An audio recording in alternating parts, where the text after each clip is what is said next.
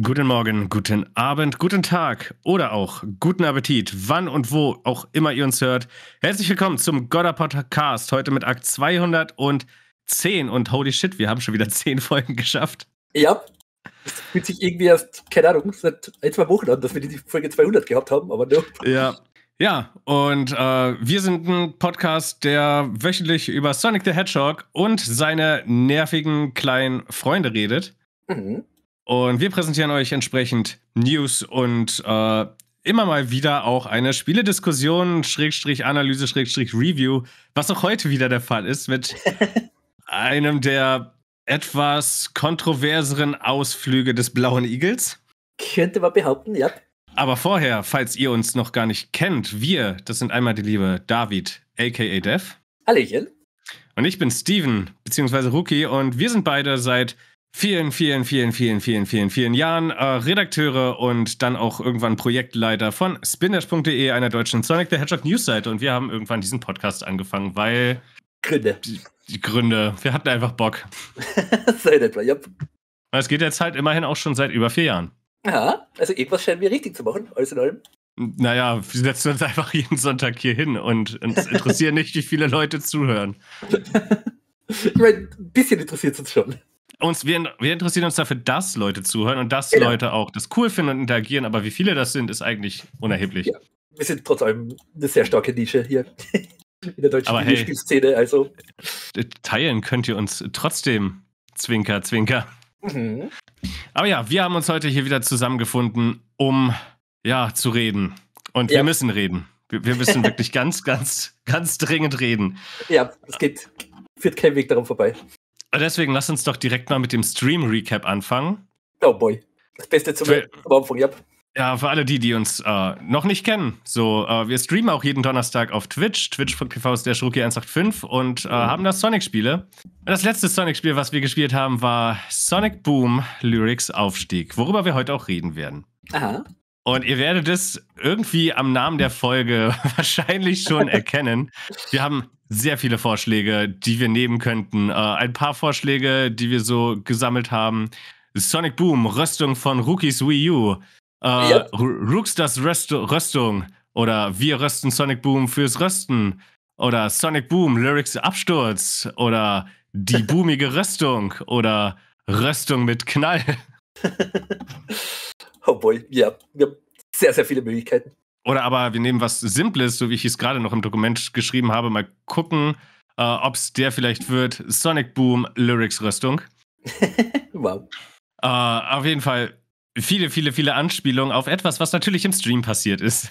Wir waren, ich glaube, fast drei Stunden live und mit Sonic Boom haben wir uns zwei Stunden, 15 Minuten aufgehalten.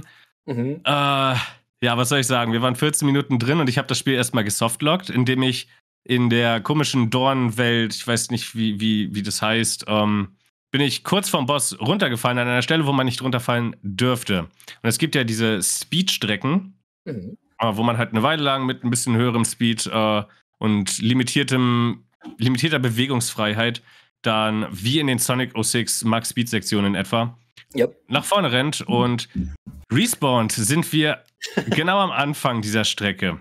Ja, an sich wäre das ja kein Problem, außer ein bisschen Backtracking, das wir machen müssen. So, ja. Jetzt ist es aber so, dass wenn man zu dicht an der Boss-Area ist, ich habe das nämlich nochmal nachgeguckt, ich kann das eins zu eins nachvollziehen, was da wie passiert ist mittlerweile. Uh. Äh, wenn man zu dicht an der Boss-Area ist, wird ein, äh, ja, wird der Teil des Levels vor dieser Speed-Sektion wird quasi aus dem Cache rausgeladen von der Konsole. Mhm. Einfach, wahrscheinlich damit es flüssiger läuft, nicht so viel im Hintergrund geladen ist, whatever. Ja. Das mit flüssiger Laufen haben sie übrigens nicht hingekriegt. Das, Äh, das ja, aber das, das ignorieren wir mal. ja. Ähm, und dadurch, dass dann die Boss-Area schon geladen hatte, sind wir, also wir sind genau dann gestorben, als sie schon geladen hatte und wurden dann Mhm. zurückgesetzt auf vor diese, diese Speed-Sektion. Was aber passiert ist, das war, das Zeug da war nicht mehr geladen. Ja. Und das lädt nicht neu, wenn man stirbt. Und das Mhm. heißt, uns fehlte buchstäblich der Boden unter den Füßen, ja. weswegen wir einfach endlos gefallen sind. Und mit jedem Tod sind wir einfach wieder da gespawnt, wieder gefallen. Neu Ja. gespawnt, wieder gefallen. Neu gespawnt, Chance, gefallen. Es gab, also wäre ich auf Tails gewesen, hätten wir es vielleicht hinbekommen, irgendwie zu dieser Speed-Sektion zu, äh, zu schweben, fliegen, whatever. Mhm. Aber wir hatten leider Knuckles. Yep. Und Knuckles ohne den Infinite Jump Glitch. Ja, ich wollte gerade sagen, er hat eine Möglichkeit zu fliegen gehabt, aber das haben sie leider rausgepatcht. Was so viel heißt, wie wir haben uns einfach in einen Softlock gefangen. Mhm. und konnten nicht weiterspielen. Ich musste tatsächlich die, äh, das Spiel neu starten oder beziehungsweise ja. den Speicherstand neu laden. Zum Glück haben wir da noch nicht so viel Progress verloren. Ja, noch nicht. Das war doch die kleinere Sache. So, ähm, dann haben wir uns weiter durch dieses Spiel gekämpft und es sind noch ein paar Bugs passiert, über die wir jetzt nicht detaillierter sprechen möchten. Mhm. Bis zu, ich nenne es gerne Sky Sanctuary, weil es halt sehr, doch sehr, eine sehr starke Anlehnung an Sky Sanctuary ist. Mhm. Ähm, was wir dann, also dieses Level ist furchtbar langweilig, darüber brauchen wir nicht diskutieren. Schöne Laser-Puzzles, wer liebt sowas nicht in einem Sonic-Spiel? Ja, wow. Und ja, gespielt, gespielt, gespielt. So circa eine halbe Stunde waren wir in diesem Level. Und dann kamen wir äh, an einen Punkt, so, das war like eine Minute vor, Level, äh, vor Ende des Levels. Das ist das Schlimme daran. Wir yeah. waren wirklich direkt davor, dieses Level abzuschließen. Ja, und da kommt noch mal eine Sektion, wo man auf Sonic wechseln muss. Und ich war so, hahaha, nee, ich spiele jetzt einfach mit Knuckles, weil ich, keine Ahnung, ich will gerade nicht mit Sonic spielen. Und dann habe ich so überlegt, Moment, Sonic hat auch in diesem Spiel doch gar keine wirklichen Attribute und habe das gesagt. Mhm. Dass das nicht korrekt ist, wie uns direkt danach aufgefallen ist, das ist eine andere Geschichte. Ja. Aber ich spreche diese Worte aus und David wollte das auch noch mal bekräftigen, so also so wie es klang in dem Stream zumindest, äh, wolltest du mhm. das bekräftigen? So, ja. ja. nee, eigentlich ist da irgendwie nichts, weil wir es beide vergessen hatten, dass er Homing Attack und sowas kann. Genau, er hat die Homing Attack Dingens, aber sonst eigentlich. Und kann, ja. kann rollen. Ja. Ähm, und David fängt an zu reden und in diesem Moment äh, hören wir einen lauten, sehr, sehr furchtbaren Sound. Der, der uns an die Sonic Anniversary Party äh, erinnert hat, wo Sonic Mania und Sonic Forces enthüllt wurden. genau. Und das Spiel war halt einfach so, nö, ich funktioniere jetzt nicht mehr. Aha. es ist einfach abgestürzt. Es, es ist einfach, na, es ist eingefroren. Mhm. So, es, es lief ja in der Theorie noch, es ist halt einfach eingefroren. Ja. Und ich, ich saß dann da relativ fassungslos, weil ich glaube nicht, dass mir das schon mal passiert ist. Aha. Ich meine, Sonic Boom, Rise of Lyric ist zerbrochen ziemlich verbrochen, von Anfang bis Ende. Aber ist es doch gar nicht der zerbrochene Kristall? Wow, ja. Yeah. der gibt es dann auch, stimmt. Aber ja, Abstürze sind trotz allem, würde ich jetzt behaupten, relativ selten bei dem Spiel. Zumindest habe ich jetzt nicht gehört, dass das ein sehr großes Problem sein soll. Und es ist ja nicht mal so, dass es ein Absturz war. Das Spiel ist nicht abgestürzt. Mhm. Äh, per se. Das, das Einfrieren, ja sondern was das Problem war, wie wir im weiteren Verlauf dann festgestellt haben. Und der Chat, der hat es einfach mega abgefeiert, während ich hier saß, so, oh nein, oh nein, oh nein, ich will nicht mehr. ähm, ja, meine komplette Konsole wurde einfach geröstet und ist gebrickt. Ja. So, was das bedeutet, ist, äh, ich habe natürlich versucht, okay, ich will, will ins Home-Menü, um einfach das Spiel neu zu starten. Ging nicht. Geht nicht. So, also dieser Sound, der war übrigens nach ein paar Sekunden war der einfach weg. Mhm. Uh, das ist aber okay. So, ich kam nicht ins Home-Menü, dachte mir, okay, ja gut, dann muss ich jetzt wohl die Konsole neu starten, drücke den Power-Button auf uh, meinem Wii U Gamepad und was passiert? Ja, das Gamepad ist ausgegangen, die Konsole war weiterhin an. Mhm. Und ich musste dann wirklich zu dieser Konsole hinrennen und sie komplett ausschalten über, naja, basically die Hardware-Knöpfe an der Konsole direkt. Mhm und sie dann halt neu starten. So, also meine Kom Konsole, die war einfach komplett geröstet, wie man so yep. schön sagen könnte. und das ist mir noch in keinem Spiel passiert. Es kann sein, dass ich das bei Sonic Boom schon mal hatte und verdrängt habe, aber ich wüsste es jetzt wirklich nicht mhm. äh, so direkt aus dem Kopf. Wie gesagt, ja, das ist jetzt nichts, wo sich Fans, so wie ich mich zurückerinnern kann, stark beschwert haben, dass ihnen einfach die ganze Konsole beim Spielen einfriert. Ja, aber das ist nun mal das, was passiert ist. Mhm. Scheint trotzdem offenbar möglich zu sein, ja. Und dann, naja, es gibt ja überall in den Levels auch so Checkpoints, wo man mhm. sich jetzt, äh, also ich habe zu David schon vorher gesagt, so David, du weißt, wann wir das letzte Mal gespeichert haben, oder? Ja, und ich so ein Stück. Das, das war eine ganze Weile her, aber das Spiel hat ja Autosaves. Mhm. Das heißt, wir, sind da, wir hätten davon ausgehen können, ja, das speichert automatisch, es gibt Checkpoints. Das Spiel speichert doch bestimmt an einem Checkpoint, oder? Nein, es hat am Anfang des Levels gespeichert. ganz am Anfang. Wir mussten das ganze Ding nochmal machen. Ganze verdammte stinklangweilige Level, den unter Anführungszeichen Lichträtseln, was auch immer das war. Und ja, nee, das, das, war, das war nicht schön. Das, das war keine schöne Experience. Ab dem Absolut. Zeitpunkt war mein Gehirn auch äh, in etwa so geröstet wie meine Konsole. Aha, weil wie gesagt, das Gameplay ist schon wirklich extrem träge und langweilig. Und das jetzt einfach nochmal zu machen, was man eh schon die letzte halbe Stunde über gemacht hat, das ist einfach sehr zermürbend. Das ist einfach übel. Ja, und du musstest nur zugucken. So, ja, du hast es nicht zugucken. mal selbst gespielt. Aber sogar das Zuschauen ist schon anstrengend genug bei dem Spiel. Und ja, wir haben einen, einen Nutzer im Chat gehabt, den lieben T-Golf, der das halt richtig, richtig, richtig abgefeiert hat. ja. Also der, er hat sich sogar entschuldigt dafür, dass er das so lustig findet, aber er meinte halt einfach, er kann nicht aufhören zu lachen. Ja, voll wir haben das, wir haben, wir haben die Stelle, das sind etwa acht Minuten, bis ich mich so langsam wieder erholt hatte von, von, diesem, von diesem Schlag. Die haben wir auch als Highlight auf YouTube veröffentlicht. Schaut es euch gerne an auf dem Kanal. Das ist, ähm, das war wild. das war ziemlich übel, ja. Und ja, ansonsten, wie gesagt, es sind ein paar Glitches passiert. Wir haben Sonic Boom dann irgendwann durchgespielt. Wir haben es tatsächlich noch geschafft, ja. Die Befürchtung war so ein bisschen da, dass es nicht mehr rechtzeitig ausgeht, aber es ist dann mehr als rechtzeitig ausgegangen. Ja, und dann haben wir uns gedacht, hey, hauen wir doch mal das Steam Deck an und gucken, was wir da so drauf haben. Und die mhm. Wahl fiel auf ähm, wie, wie, wie umschreibe ich das jetzt? Äh, es ist ein Spiel, das hier in Deutschland nicht rauskam, sonst hätte ich das natürlich auf Original-Hardware gespielt, aber dadurch, dass ich das halt nicht, nicht habe, weil es hier nicht rauskam, ging das nicht. Äh, deswegen musste ich auf eine nur so halblegale Version zurückgreifen. Aha. Äh, also, ich habe das emuliert. So, sagen wir es einfach so, wie es ist. Halblegal ist da auch nicht der richtige Begriff, glaube ich, aber lassen wir das. Yep. Äh, ich ich habe das emulieren müssen, weil, naja, geht halt nicht so vom Game Boy Advance. Und das Spiel kam hier eben nicht raus. Und Sonic the Hedgehog Genesis ist es geworden, was ja. eine Sonic 1-Version für den Game Boy Advance ist, der, äh, die, keine Ahnung, in einem schwierigen Jahr für Sonic rauskam, nämlich ja. 2006. Oh. Hm, ein Schelm, wer Böses denkt ja, man könnte fast meinen, das Jahr wäre ein bisschen verflucht gewesen für die Franchise. Zum 15. Jubiläum übrigens. Ähm, ja.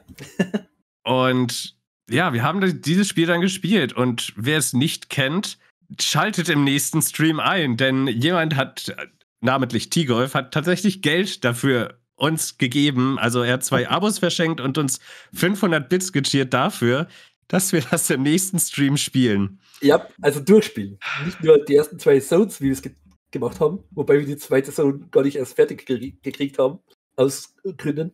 Ähm, ich muss dazu sagen, ich weiß nicht, ob es möglich ist, das durchzuspielen. ich, oh, ich nee. jetzt, du gibst die jetzt schon auf? Nein, ähm, ich habe es privat jetzt ein bisschen, um mich vorzubereiten, habe ich es halt ein bisschen weitergespielt. Und die Labyrinth Zone, die ist Uff. halt absolut unspielbar. Uff, das kann ich mir sehr gut vorstellen. Wenn die Marvel Zone, die war, dann die Labyrinth Zone wird ein kompletter Albtraum. Also ich, ich bin jetzt mittlerweile bis zum Boss gekommen äh, und habe jetzt entschlossen, dass ich auf Safe States zurückgreifen werde, weil ich, oh boy. weil ich keine Ahnung habe, wie ich das anders schaffen soll. Es, es ist eine absolute Tortur, überhaupt durch Labyrinth Zone durchzukommen, weil, weiß ich nicht, du siehst einfach nichts, weil die Kamera so rangezoomt ist mhm. und das, das macht das ganz, die ganze Experience nicht wirklich toll. Dann ist die Framerate, wenn du im Wasser bist, die ist so bei zwei Frames pro Sekunde teilweise. Aha. Uh, und dann kommt halt dieser Boss und der ist komplett unter Wasser und da sind auch noch die ganzen Stacheln, die aus der Wand kommen und sowas, wo du teilweise einfach nicht vorbeispringen kannst, weil die Hitbox von Sonic einfach dreimal so groß ist wie er. Ja. Also ich muss versuchen, mich da irgendwie durch zu Damage boosten. Mhm. Ich, ich weiß noch nicht, wie ich das schaffen soll. Also ich, das müssen wir dann rausfinden, ja. Ich, ich mache an dieser Stelle wirklich keinerlei Versprechungen, dass wir das Donnerstag durchspielen können, weil das ist, das ist eine harte Nummer. Ja. Das nicht, weil es schwer ist, sondern weil es halt teilweise legit unspielbar ist. Mhm. Aber das wird eine Erfahrung für alle Zuschauenden im Chat sein. Ja. Deswegen kommt vorbei. Kommt vorbei am Donnerstag um 20 Uhr, twitch.tv slash rookie185. Wir spielen Sonic the Hedgehog Genesis. Ja. Weil wir, halt irgendwas zur Überbrückung brauchten, denn der nächste Stream, den wir machen, ist am 5. Dezember. Denn Mhm. kommende Woche müssen wir, müssen wir leider aussetzen, weil ich in Düsseldorf bin, wo wir ja eigentlich vor ein paar Tagen gewesen wären zur Sonic Symphony, aber das ist ja gestorben. Ja, das ist jetzt Wasser gefallen. Ja, jetzt wahrscheinlich schon zu Hause, ja, von der Vorstellung und wird wahrscheinlich jetzt im Podcast darüber berichten, wie verdammt cool das alles war. Nein, David, wir wollten ja direkt nach dem Konzert gemeinsam mal in Persona eine Podcastaufnahme machen, Ja. falls du dich erinnerst. Genau, da war ja was. Das hätten wir da gemacht. Ah, vielleicht wird es nachgeholt, hoffentlich. Mal schauen.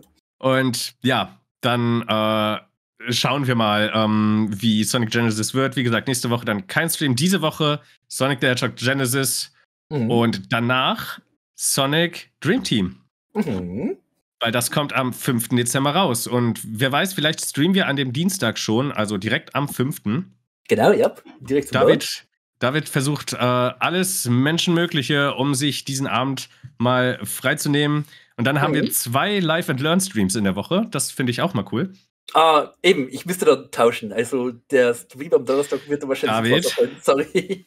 David, es, du hast jetzt genug Vorlaufzeit. Es ist dieser eine Abend. Bitte gib mir das. Gib mir eh, das. aber dann muss ich wahrscheinlich tauschen. Mal schauen. ja, aber Oh, du, du scheinst zu vergessen, dass ich es privat nicht weiterspielen kann außerhalb des Streams. Ach, wir kriegen das schon durch in drei Stunden. Nein. Mal schauen. Mal schauen, wie weit wir kommen. Also bitte, bitte, bitte versuche es einfach, dass wir in dieser einen Woche ausnahmsweise mal zwei Sonic-Streams hinbekommen. Das wäre sehr schön. Ich meine, probier. ansonsten, ansonsten streame ich den Dienstag halt einfach alleine und dann verpasst du den Anfang. What? Nö, das geht gar nicht. Also es wäre echt schön. Ich würde mich sehr freuen, wenn wir das äh, wirklich dieses eine einzige Mal hinbekommen. Okay. Bitte, Ich gebe mir Mühe. bitte, bitte. Okay, okay. Das schaffen wir schon. Sonst fange ich an zu heulen. Nö, bitte nicht. Nee, aber Sonic Boom ist vorbei und heute werden wir auch über das Spiel diskutieren. Ja. Und für viele wird es wahrscheinlich überraschend sein, wie gut das Spiel am Ende wegkommen wird, glaube ich. Eindeutig, ja. Also, weil ich könnte mich jetzt hier hinsetzen und sagen, was für ein absolutes Shitfest das ist und wie sehr ich es hasse. Allerdings, naja, ich greife jetzt nicht zu viel vor, aber dieses Spiel hat halt eigentlich bloß eine einzige riesengroße Schwäche und der Rest ist erträglich. Okay. Also seid gespannt, was das sein wird. Mhm. Also es hat noch wesentlich mehr Schwächen, aber nur diese eine ist wirklich riesengroß und da stimmen David und ich, glaube ich, komplett überein. Wahrscheinlich, ja. Schauen. Ich mag Erdbeereis. So. Aha. Oh, ich habe ich hab irgendwie rauen Hals gerade. Oh, ne. Aber ja, das zu unserem Stream-Recap.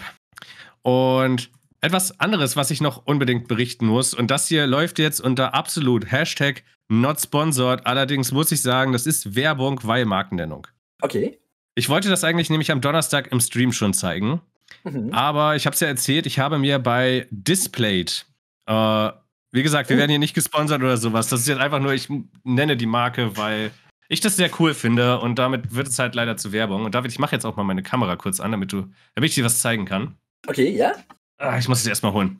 Äh, da kann man nämlich Metallposter von Videospielen und allen möglichen anderen Sachen holen. Und da gibt es einen offiziellen Sonic Shop.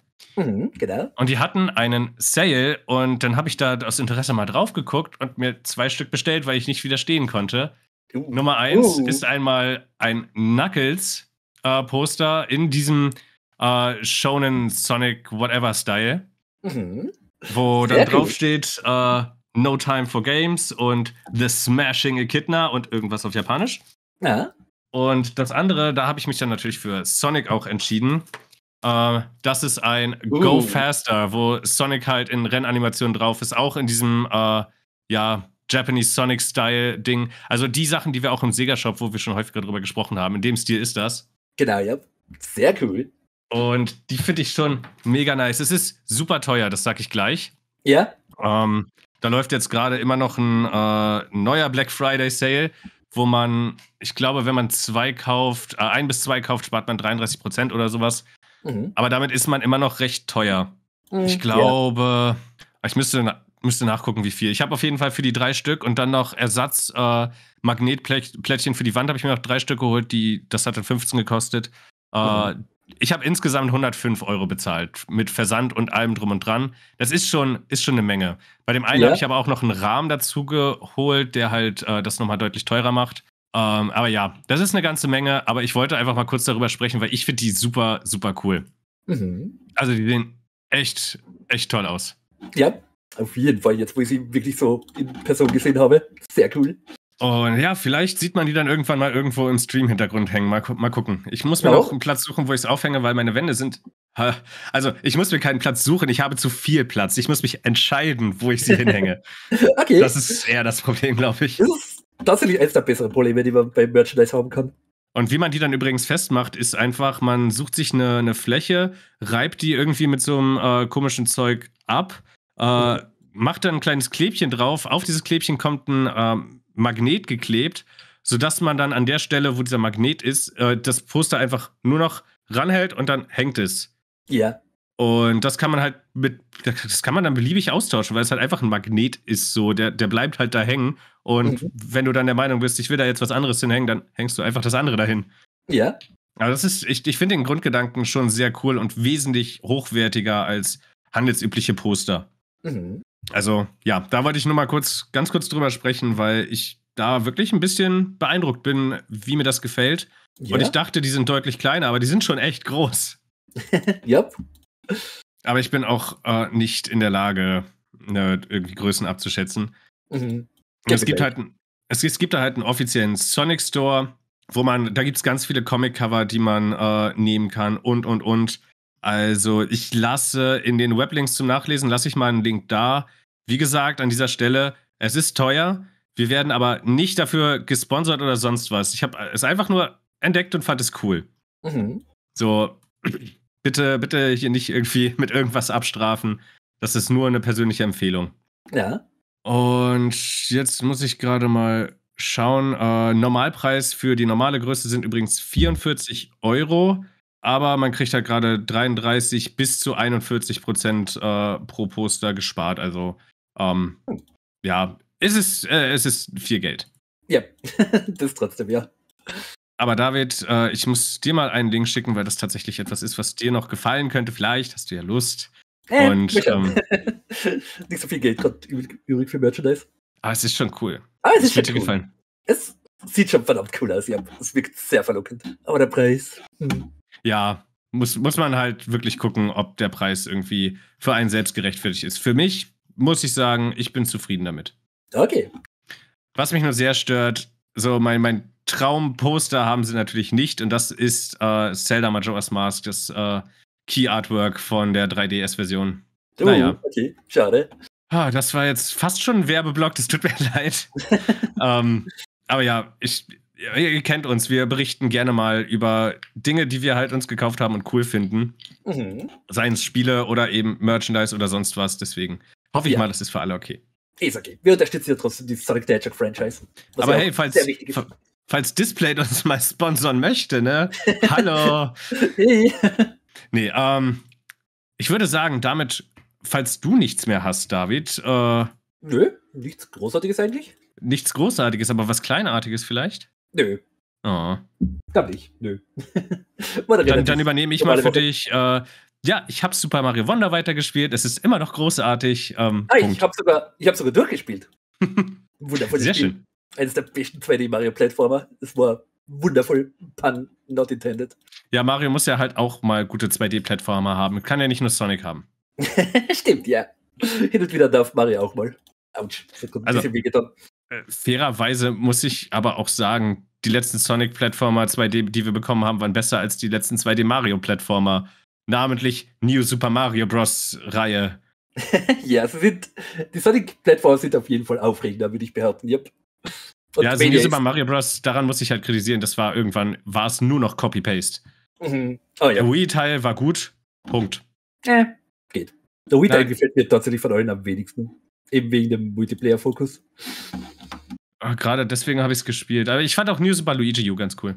Ah ja, das habe ich nicht gespielt, weil da war ich dann so ein bisschen ausgecheckt von der Reihe. Ich habe nur Luigi U gespielt. Ach nein, warte, ich habe dann irgendwann zur Wii U gab es gratis noch irgendwie, wenn man den Code beim Club Nintendo, oh mein Gott, ja. eingelöst hat, äh, hat man sich irgendwie ein Gratisspiel aussuchen dürfen. Ich, ich weiß nicht mehr genau, wie das lief. Das ist viel zu viele Jahre her, aber da habe ich mich für New Super Mario Bros. U entschieden gehabt. Und deswegen mhm. hatte ich das dann auch irgendwann später, weil, also ich habe mir einen Code irgendwann nochmal auf Ebay gekauft, kurz bevor die Aktion vorbei war, für 5 Euro oder so. Mhm, ja. Und den eingelöst und dann, ja, hatte ich noch eins. Ja.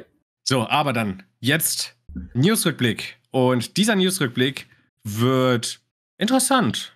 Also, Ja. es sind keine großen News, aber es sind ein paar coole News dabei. Mhm. Und mir wird die- ja? Mir wird die Ehre zuteil, euch jetzt äh, die ersten paar Minuten das Ohr mit ein paar News abzukauen. Ja, wir haben das halt ein bisschen anders aufgeteilt. So eher blöckeweise. ähm, und anfangen tun wir mit Sonic Dream Team. Es kommt am 5. Dezember raus auf Apple Arcade exklusiv. Das Ja. heißt, ihr braucht ein iOS-Gerät oder Mac, ein MacBook mit einer gültigen Apple Arcade-Mitgliedschaft, Mhm. die, naja, passend zum 5. Dezember auch teurer wird. Auf, ich weiß gar nicht wie viel, 6,99 glaube ich? Ich glaube 6,99, ja. Mhm. Äh, und da wurde jetzt ein neuer Clip veröffentlicht. Wir haben letzte Woche schon darüber geschrie äh, geschrieben, ja, geredet, dass wir ja Clips für einmal Sonic und Amy und einmal Tails und Cream bekommen haben. Und jetzt haben wir Mhm. einen 12-sekündigen Clip natürlich auch noch für Knuckles und Rouge bekommen. Genau, ja. Und äh, eine interessante Sache daran ist, während man sie im Video fast ausschließlich gleiten sieht, spricht die Beschreibung von diesem Clip von Explore and Climb. So etwas, ja. was man diese Charaktere in dem Clip nicht tun sieht. ja, nö. Aber es ist, wie gesagt, auch nur ein 12-Sekunden-Clip. Also, so viel Gameplay kriegt man da leider tatsächlich nie mit. Ja, aber man sieht sie halt trotzdem nur gleiten. Sie hätten ja wenigstens einmal kurz das Klettern zeigen können. Mhm. Hätten sie, aber ja. Aber nö, gar nicht. Sie haben es nur in die Beschreibung geschrieben. Ja, klettert. Und das Klettern sieht man einfach nicht. Aber man kann es machen mit den Charakteren. So viel stimmt wahrscheinlich. Aber ja, wir sind sehr gespannt auf Sonic Dream Team, wie es Mhm. dann sein wird. Und äh, ich hoffe, dass es mit dem Stream auch alles klappt dann. Ja. Denn das sieht halt immer noch sehr, sehr cool aus. Mhm. Und die Musik gefällt mir. Ja, das ist ziemlich interessant, ja. Bin ich sehr drauf gespannt, mehr zu hören. Also das, was wir in den Clips jetzt gehört haben, klingt mir noch ein bisschen zu äh, generic happy. Aber die Auswahl der Instrumente und sowas äh, und Mhm. so, jetzt funktioniert, das funktioniert ganz gut und gefällt mir ganz gut. Ich hoffe, Ja. man kann da noch ein bisschen mehr Facetten als äh, glücklich, generisch, happy dann hören. Aber wahrscheinlich schon. Sonic Soundtracks haben eigentlich immer den Vorteil, dass sie sehr variationsreich sind. Ja. Ich gehe mal davon aus, das wird bei Dream Team nicht viel anders sein. Ach, besonders so eine, so eine Themes, die halt richtig, so eine richtig geilen Finalboss-Themes, die richtig stark anfangen und wo dann die Sonic the Hedgehog 4 MIDI-Sound von reinkommt. Oh, ich liebe sowas. Wundervoll, ja, so viel Variation. Ah, Grüße gehen raus an Fang Mark 2. Mhm. Ah, schlimm, schlimm, schlimm. Aber ja, soweit mehr Sonic Dream Team News haben wir diese Woche nicht. Leider nicht, ne? Es ist halt auch ein Mobile Game, das ist ganz klassisch, dass man da nicht so viele News bekommt wie jetzt bei einem full-fledged äh, Sonic Game. Mhm. Deswegen akzeptieren wir das Ja, und machen weiter mit dem neuesten Release aus dem Sonic-Franchise, nämlich Sonic Superstars. mhm. Und am, oh Gott, 7. Dezember müsste es sein, äh, sind die Game Awards moderiert Ja, und genau. ich glaube auch ins Leben gerufen von Geoff Keighley. genau, ja. Nur bei uns wird es eher in Richtung Freitag dann gehen, weil die werden Ja. immer relativ spät dann ausgestrahlt. Also das wird bei uns eher Freitagmorgens dann sein. Also David, das streamen wir auch live, ne? Bitte? Das streamen wir dann auch live, ne? ja, sure, auf jeden Fall. Ich meine, du guckst es dir doch sowieso an. Du hast es dir auch letztes Jahr angeguckt. Ja, so nebenbei, aber keine Ahnung. Ich, keine Da Ahnung. kann man auch einfach schläfrig im Stream hocken und darüber reden. Ich habe eigentlich schon dem Kumpel versprochen, dass wir zusammen schauen, also mal schauen. Er kann ja einfach unseren Stream gucken. Ja. Nee, mal schauen. Keine Ahnung, ob ich da jetzt für so Game-Events auch irgendwie im Stream sitzen will. So es, wird- es, so viel es wurde sich gewünscht, dass wir auch mal Reaction-Streams machen. Aha. Also, Vor allem, wenn ich 100% verschlafen bin und eh kaum was rede. Nö, ich glaube, das ist nicht das richtig- richtige Setting. okay, dann, dann streame vielleicht ich und du sitzt einfach da. Und ich sitze im Chat und interagiere auch ein bisschen. Das, Ja. das stelle ich mir angenehmer vor. Anstatt wenn ich alle einfach anschweige, weil ich die ganze Zeit am müde sein und Ach, gamen aber wenn ich alle anschweige, ist es okay. Nein, ähm, worum es auf jeden Fall geht, am 7. Dezember sind die Game Awards ähm, und drei Sega-Spiele sind nominiert und eines davon ist Sonic Superstars und zwar in der Mhm. Kategorie Bestes Familienspiel. Ganz genau, ja. Ganz ehrlich, ich glaube nicht, dass Sonic Superstars gewinnt. Ja, eher Allerdings äh, finde ich es cool, dass es nominiert ist. das ist zumindest toll, dass ein Sonic-Spiel eine Nominierung wirklich abgekriegt hat, ja. Also, es wird schon allein deswegen nicht gewinnen, weil es mit äh, New Super Mario Bros. Wonder in einer Kategorie ist. Also jetzt gerade New Super Mario Bros. Wonder genannt. Ouch. Ja, hab ich. Okay. Oh, das, tut mir leid. Bitte vergleich dieses großartige Spiel nicht mit New Super Mario Bros. Das tut mir wirklich leid, okay. okay. Akzeptiert. Uh, ich entschuldige mich uh, bei Freunden und Familie und uh, allen, die hier zuhören. Und oh Gott, es gibt so viele Kategorien. wo ist es denn? Wo ist es denn? Best Family da. Mhm. Es ist zusammen mit, ja, Lade, mit Disney Illusion Island, Party Animals, Pikmin 4, tolles Familienspiel, kann das, ist das nicht Singleplayer? Sonic Superstars und Super Mario Bros. Wonder sind in dieser Kategorie. Yep. Ganz ehrlich, ich würde es persönlich auch Party Animals gönnen, weil ich habe letztens extrem viel Spaß im Multiplayer mit Freunden gehabt in diesem Spiel. Es ist also, hilarious. Also, ich bin ganz ehrlich, ich sehe da Sonic Superstars nicht, nicht siegreich hervorgehen. Ja. So leid es mir tut. Letztes Jahr habe ich wirklich auf Frontiers gehofft. Aber Superstars, es tut mir leid, das sehe ich, sehe ich nicht. Mhm. Same, aber wie gesagt, die Nominierung selbst ist ja auch schon wirklich cool. Ja. Und für Most Anticipated Game haben wir Like a Dragon Infinite Wealth, das heißt der achte Teil der Like a Dragon aka Yakuza-Reihe. Mhm. Und das steht zusammen mit Star Wars Outlaws, Tekken 8, Hades 2 und Final Fantasy VII Rebirth, der zweite Teil von Final Fantasy VII. Und ich gönne es, Like a Dragon Infinite Wealth, sehr, weil ich mich sehr darauf freue. Ich sehe aber nicht, dass es eine Chance gegen Final Fantasy hat. Ja, Final Fantasy wird es abholen. Sowas von. Also gegen Tekken 8, Star Wars Outlaws, Hades 2, da sehe ich Like a Dragon Infinite Wealth siegreich hervorgehen tatsächlich. Das könnte ich mir vielleicht, gut vorstellen. Vielleicht nicht gegen Hades 2, weil das der Titel, der wird auch mit sehr viel Hype irgendwie nach dem großartigen ersten Teil mit sehr viel Hype erwartet. Aber trotzdem kann ich mir vorstellen, dass es die aussticht, aber Final Fantasy 7.2 ja, nö. I don't think so, I'm sorry. so, so gern ich es hätte, aber nee. Mhm. Und dann haben wir noch in der Kategorie uh, Best Sim slash Strategy Game, ja, Game. Uh, jetzt muss ich die Kategorie hier erstmal suchen. Da ist nämlich Company of Heroes 3 nominiert, gemeinsam mit Advance Wars 1 plus 2, äh, 1 und 2 Reboot Camp, mhm. City Skylines 2, Fire Emblem Engaged, äh, Engage und Pikmin 4. Wir haben da drei Nintendo-Spiele in der Reihe, äh, in der Liste. Also. ja. Ah. Aber man darf Company of Heroes, glaube ich, nicht unterschätzen. Das ist, glaube ich, eine echt verdammt große Reihe. Ja, ich glaube, die ist relativ populär auch, ja. Ich, ich unterschätze das immer gerne, aber ich mhm. glaube, da, es hätte Chancen. Ja, ich Sega bin halt so. Auch, wie gesagt, möchte man gar nicht meinen, aber Sega ist im Strategiespiel-Genre auch relativ stark vertreten, eben mit Company of Heroes und Total War. Ich habe das nur halt so, so gar nicht auf dem Schirm, weil das kein Genre für mich ist. Mhm. Deswegen, äh, ich sehe nur immer, wie groß die Booths äh, am, am, am, an der Gamescom sind und wie viele Leute da anstehen. Holy shit. Ja, nee, Strategiespiele aber, haben noch definitiv eine Popularität, würde ich sagen. Aber ja, das sind unsere Nominierten für die Game Awards und es gibt noch ein Publikumsvoting. Die Nominierten in dieser Kategorie werden aber, glaube ich, erst später bekannt gegeben, oder? Boah, keine Ahnung. Weiß also sowas, sowas genau letztes Jahr, äh, dass das Publikumsdingens äh, irgendwie noch äh, ein bisschen später kam, wo dann mhm. Sonic Frontiers sich mit Genshin Impact gebettelt hat. Oh ja, genau. Und Genshin Impact, äh, wer kennt es nicht? Das Spiel, was definitiv 2022 rausgekommen ist. Und ja, da bin ich immer noch salty. Das sollte in der Liste nicht drauf sein. Ja. Weil wenn man danach geht, dann sollte Sonic Frontiers auch dieses Jahr in der Liste sein, denn das hat auch weiterhin Support bekommen. Also mhm. bitte, vielleicht haben wir noch eine Chance auf Sonic Frontiers. Mal schauen. Ja, mal schauen. ich glaube es nicht, aber vielleicht. Nee, nee glaube ich nicht. Und ja, so viel zu Sonic Superstars. Kommen wir doch mal zu dem, den wir, das wir gerade genannt haben, nämlich Sonic Frontiers. Denn mhm. Überraschung, Überraschung, wir haben auch hier eine News. Und die kommt von Otani-san direkt auf Twitter von Tomoya Otani. Oh.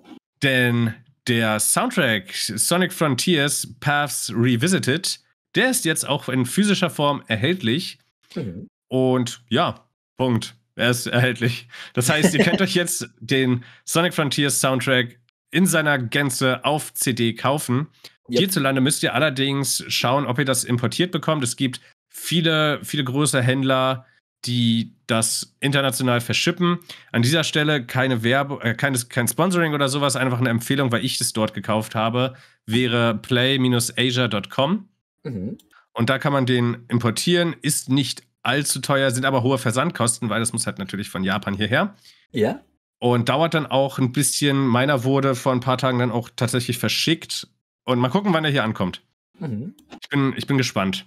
Äh, aber es gibt einige Seiten, wo man eben sich Dinge aus Japan importieren kann. Seine Soundtracks, seine Spiele und, und, und. Äh, ich habe nur mit der Seite gute Erfahrungen gemacht. Deswegen das so als kleine Empfehlung von meiner Seite. Mhm. Und ich freue mich, wenn der Soundtrack hier ankommt, weil dann habe ich auch den kompletten Sonic Frontiers Soundtrack auf CD und ich freue mich drauf. Nice. Ich habe ihn zumindest digital. Oh ja. Tatsächlich hat Otani-san auf Twitter sogar äh, gefragt, so, hey, habt ihr irgendwelche Empfehlungen, wie man das außerhalb von Japan sich besorgen kann? Und da haben zahlreiche Fans auch geantwortet. Und das finde ich sehr cool. Mhm. Also den Tweet haben wir jetzt tatsächlich nicht verlinkt.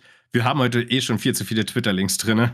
Ja, schon wieder. Ähm, aber ich kann schauen, dass ich ihn nochmal raussuche und dann entsprechend verlinke. Aber ich finde den gerade tatsächlich nicht. Vielleicht war es nur eine Antwort. Oh, okay. Äh, ich muss mal ganz kurz schauen. Ah, ich finde es gerade nicht. Es tut mir leid. Ich suche es nochmal raus und versuche einen Link reinzustellen, weil da eben viele Leute aus der. Ah, doch, da. Ha, ich hab's. Nice. Äh, was, was hier empfohlen wird, ich blabber das jetzt einfach mal raus. Äh, Hashtag Werbung, weil Shop-Nennung oder sowas. Äh, einmal cdjapan.co.jp wird hier ein paar Mal empfohlen. Dann Solaris Japan. Oh, interessanter Name, ja. äh, dann otaku.co.uk. Das ist aber für Leute aus UK scheinbar. Mhm. PlayAsia wird hier genannt. Ähm, ja, viel mehr Empfehlungen finde ich jetzt auf den ersten Schlag nicht. Aber es gibt auf jeden Fall zahlreiche Möglichkeiten. Was mir gerade noch einfällt, wäre, glaube ich, äh, falls es das noch gibt, äh, mal schauen. Genau, yesasia.com zusammengeschrieben. Mhm. Da kann ich mal nach Sonic Frontiers kurz gucken. Und ja, da gibt es den auch für umgerechnet circa 33 Euro. Okay, cool. Und ja, so haben wir einige Möglichkeiten, das mhm. eben zu besorgen. Und ich merke gerade, ich, ich muss mir doch die japanische Version von Sonic Frontiers importieren, weil das ein anderes Cover hat. Oh, okay, wow.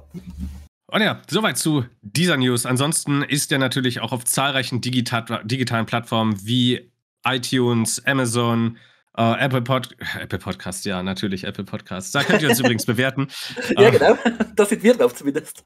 Uh, Spotify und und und ist das auch digital verfügbar. Das heißt, falls ihr nicht so auf CDs steht, dann könnt ihr das Ganze streamen oder digital kaufen und das geht weltweit. Mhm. Und jetzt kommen wir zu etwas, was für mich eine ganz, ganz spe spezielle News ist, eine ganz besondere News, weil es oh ja. handelt sich um mein absolutes Lieblings-Sonic-Spiel, mhm. nämlich Sonic Unleashed und wir mussten extrem, extrem lange warten. Wir haben gebettelt und gefleht. ah, nee, jetzt kommen die falschen Erwartungen. Und ach, sag das doch nicht. ich, ich weiß, ich wecke hier gerade Erwartungen, aber ich werde auch delivern, ich verspreche es. Denn äh, solange wir uns schon einen PC-Release von Sonic Unleashed gewünscht haben, oh, so wenig ist er wahr geworden und das passiert auch heute nicht. Allerdings schreiben wir heute, glaube ich, das zehnte Jubiläum davon, dass wir uns angefangen haben, das sehr, sehr hart zu wünschen. Eventuell, ja, vielleicht sogar ein bisschen länger noch. Aber was noch viel cooler und viel wichtiger ist, Sonic Unleashed ist einfach fucking 15 Jahre alt. Ja. David, wir sind alt. Die Zahl ist so ein bisschen verrückt für mich. Ja, bei Sonic Unleashed war mitunter auch einer meiner Einstiege in die Sonic-Franchise, wo es dann endgültig gefestigt war von wegen, ja, ich bin jetzt offensichtlich Sonic-Fan, wow. Und ja, dass das schon 15 Jahre her sein soll. Also, dass das basically die Hälfte meines Lebens ist, könnte man sagen. Das ist schon ein bisschen insane. Ja, das fühlt sich sehr komisch an. Man muss ja allerdings auch ein bisschen differenzieren, denn es handelt sich natürlich um den amerikanischen Release. Mhm. Und Amerika hat das Ganze eine Ecke früher bekommen. Für Wii und PlayStation 2 zeitgleich mit Japan. Nein, doch nicht. Japan hat es einen Monat später. Was zur Hölle? Also der 18. Moment, November ist der Release-Tag in den USA für alle Versionen. In mhm. Europa mhm. ist es dann der 28. November. Wow, so viel später. Und für Japan ist die Wii und PlayStation 2 Version am 18. Dezember rausgekommen, 2008. Und die Xbox 360 PS3 Version am 19. Februar 2009. Ja, da kann ich mich sogar ganz entfernt erinnern, dass die um einiges später dran waren. Da, ja. Aber die Maus beißt keinen Faden ab. Sonic Unleashed ist 15 Jahre alt und das ist erschreckend hoch. Und das ja. ist genauso erschreckend, dass das immer noch das bestaussehendste Sonic-Spiel ist. Es tut mir leid. Schon irgendwie, ja. Also Pix Pixel-Style ausgenommen, aber ansonsten, was, was die ähm, HD-Spiele angeht, die Nicht-Pixel-Spiele, ist das Mhm. einfach das bestaussehendste Sonic-Spiel. Gerade wenn man es heute auf der Xbox Series äh, spielt mit dem 4K-Upgrade und allem. Ja. So, es sieht halt einfach bombastisch aus und so gerne ich die Grafik von Frontiers habe, aber es tut mir leid, Sonic Frontiers, du siehst dagegen scheiße aus. Deine Texturqualität ist höher, ja, aber ansonsten, come Wow. on. Autsch, aber keiner True. Sonic Unleashed ist extrem gut gealtert. Also nach wie vor.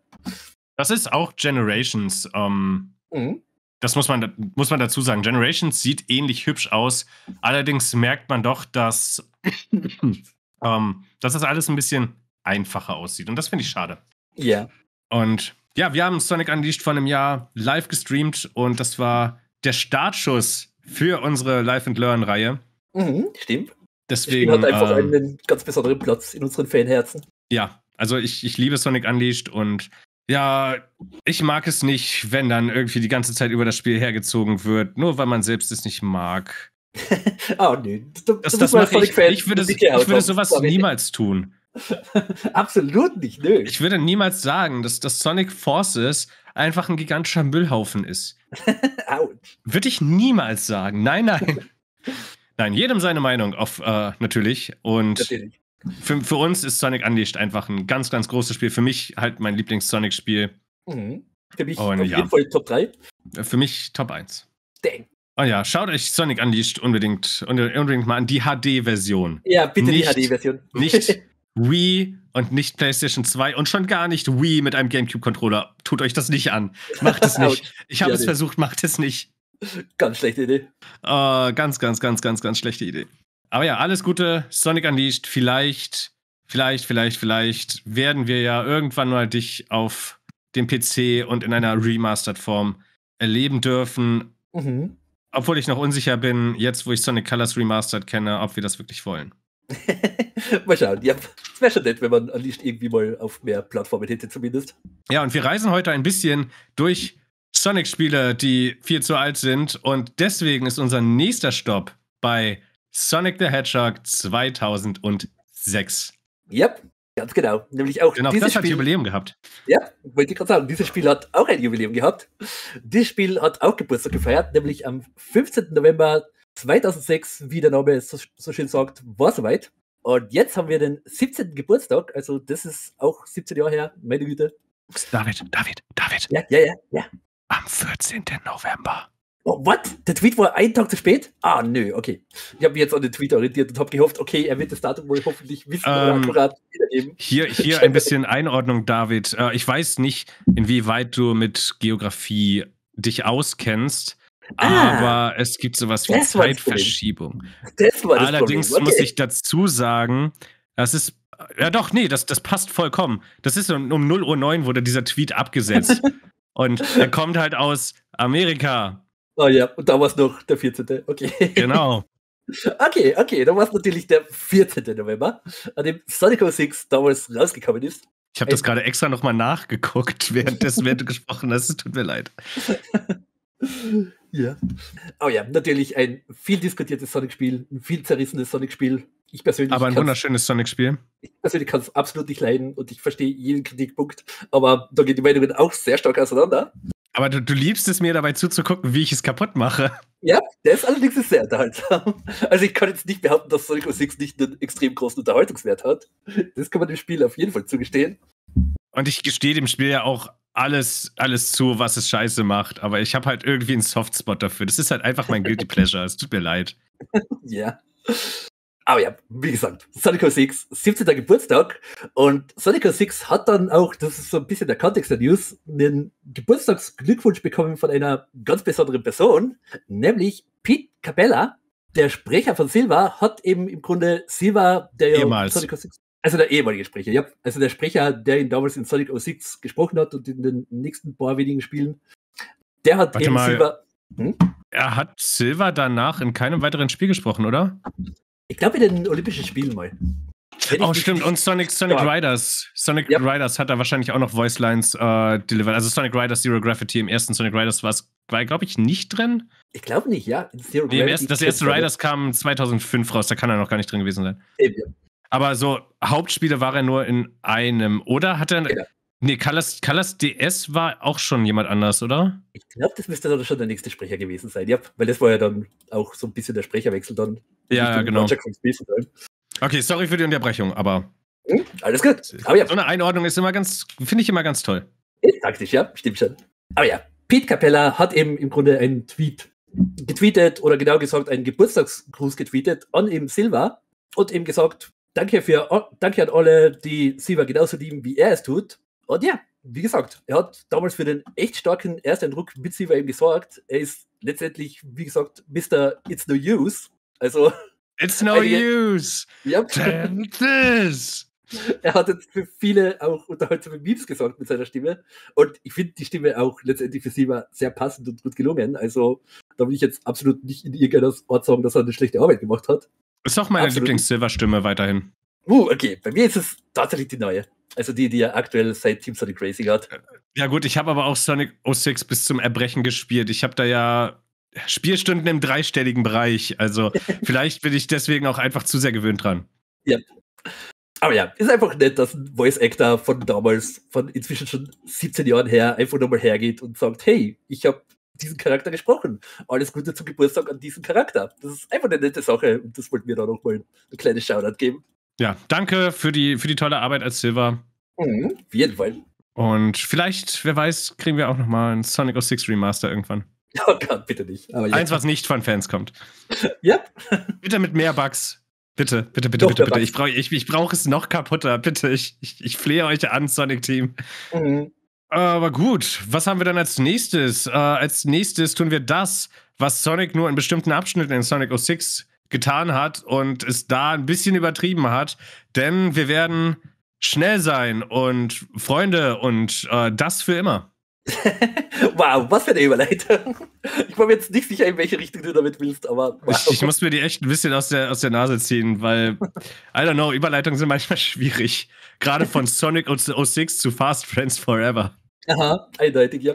Aber ja, im Grunde haben wir wieder einen neuen Fast Friends Forever Comic bekommen. Diese Oh, warte kommen- mal. Ich hätte Ah. eine viel bessere, ah, viel bessere Überleitung finden können. Was Okay. Sonic und Silver für, das, für die meiste Zeit des Spiels nicht waren, das sehen wir jetzt. Fast Friends Forever. Wow, ja, okay. Die war tatsächlich ein bisschen besser. Ah, wieso ist mir das nicht gleich eingefallen? Schade. Schade, schade. Aber ja, wie gesagt, neuer Fast Friends Forever Comic ist gekommen. Kommen aktuell alle am Montag wieder. Also jeden Montag aufs Neue bekommen wir einen dieser Comics, wo jetzt im Grunde Fans oder auch Personen im öffentlichen Interesse, die zum Beispiel an diversen Serien gearbeitet haben, einfach so einen charmanten kleinen Vier-Panel-Comic zu Sonic the Hedgehog teilen. Und das wird dann im, im Grunde vom offiziellen Sonic Twitter getweetet oder auch auf der Fast Friends Forever Website dann geteilt. Und ja, der aktuelle Comic ist von Natalia Diaz. Ich hoffe, ich habe den Namen so richtig ausgesprochen. Und der zeigt im Grunde, wie Amy so ein bisschen, keine Ahnung, sie wirkt so ein bisschen traurig, ein bisschen niedergeschlagen und sitzt einfach auf einer Wiese und die Farben sind alle verdunkelt, fast schon schwarz-weiß. Und dann kommt einfach Wurscht dazu und dann kommt noch ein bisschen später Cream dazu und die Farben werden laufend heller und heller. Und das soll einfach so ein kleiner netter Comic sein, um zu zeigen, hey, wenn man Freude um sich hat, dann schaut die Welt schon um einiges besser aus, im Grunde. Ich glaube, das ist so ein bisschen die Message. Ja, würde ich auch sagen. Ja, also auch ein sehr netter Comic, ein sehr akkurater Comic natürlich auch, ja. Jetzt liegt es natürlich an uns zu ergründen, warum Amy da so traurig da sitzt. Ja, genau. Wahrscheinlich hat sie Wahrscheinlich- Sonic wieder irgendwie stehen lassen. Ich würde sagen, sie hat einen Korb von Sonic bekommen. Das ist Ja. relativ offensichtlich, aber dann hat sie natürlich versucht, ihm hinterherzulaufen, äh, ist dann gestolpert, äh, hat sich einen Zehennagel abge äh, ein Zehennagel, einen Fingernagel abgebrochen Aha, okay. und äh, deswegen ist sie so traurig. Okay, das kann man akzeptieren. Also, warum Amy so niedergeschlagen ist, dafür gibt es leider keinen Kontext, aber diese Erklärung klingt auf jeden Fall, kann man so nehmen. Die klingt auf jeden Fall relativ akkurat. Nice. Aber ja, und zur Person eben selbst, also zu Natalia Diaz, sie erzählt auch dann, wie gesagt, wieder ein bisschen von sich selbst. Also sie ist eben aus Brasilien und war immer schon Videospielfan, unter anderem durch ihren Vater. Und jetzt mag es einfach zu zeichnen und ist jetzt auch im Grunde so als Concept Artist für Videospiele jetzt dann im Grunde engagiert worden. Und ja, auf Social Media ist sie bekannt für ihre ähm, Mädchen-themed Illustrations. Keine Ahnung, was da jetzt irgendwie die perfekte Übersetzung ist. Also sie zeichnet halt gern Mädchen und vor allem auch Haare. Und dadurch ist sie einfach so ein bisschen bekannt geworden.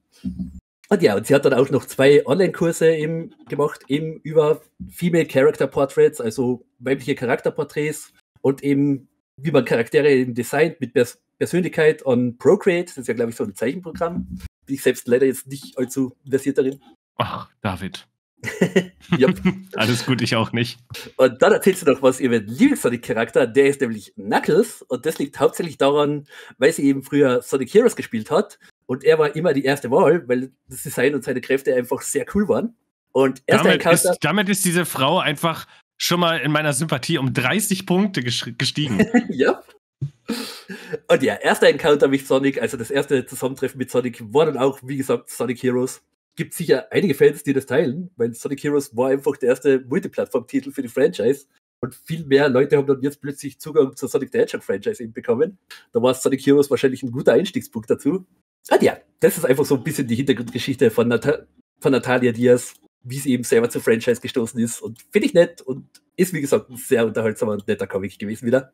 Und bin schon gespannt, wie es dann nächsten Montag weitergeht. Also für euch heute, also heute vielleicht die offiziellen Sonic the Hedgehog-Medien so ein bisschen im Auge. Ja, und wer das getan hat, der hat diese Woche wahrscheinlich auch etwas anderes mitbekommen, was neu angekündigt wurde. Denn ein neues Sonic-Spiel wurde angekündigt. Schon wieder. Schon wieder. Es hört einfach nicht auf. Was ist es immer mit diesen neuen Sonic-Spielen? Allerdings dieses Mal kein Videospiel, sondern ein Brettspiel, das auf den Namen Sonic Roll hört mhm. und mit einem Würfel gespielt wird. yep. Das ist das, was die Fanbase etwas, äh, ja, gemimt hat, sagen wir mal so. oh nee, es ist, es ist Sonic Shuffle 2. Nein, also einfach die Tatsache, dass du einen Würfel hast und es Sonic Roll heißt. Ich meine, ja, du rollst halt den Würfel, aber Sonic und Würfel, das passt nicht.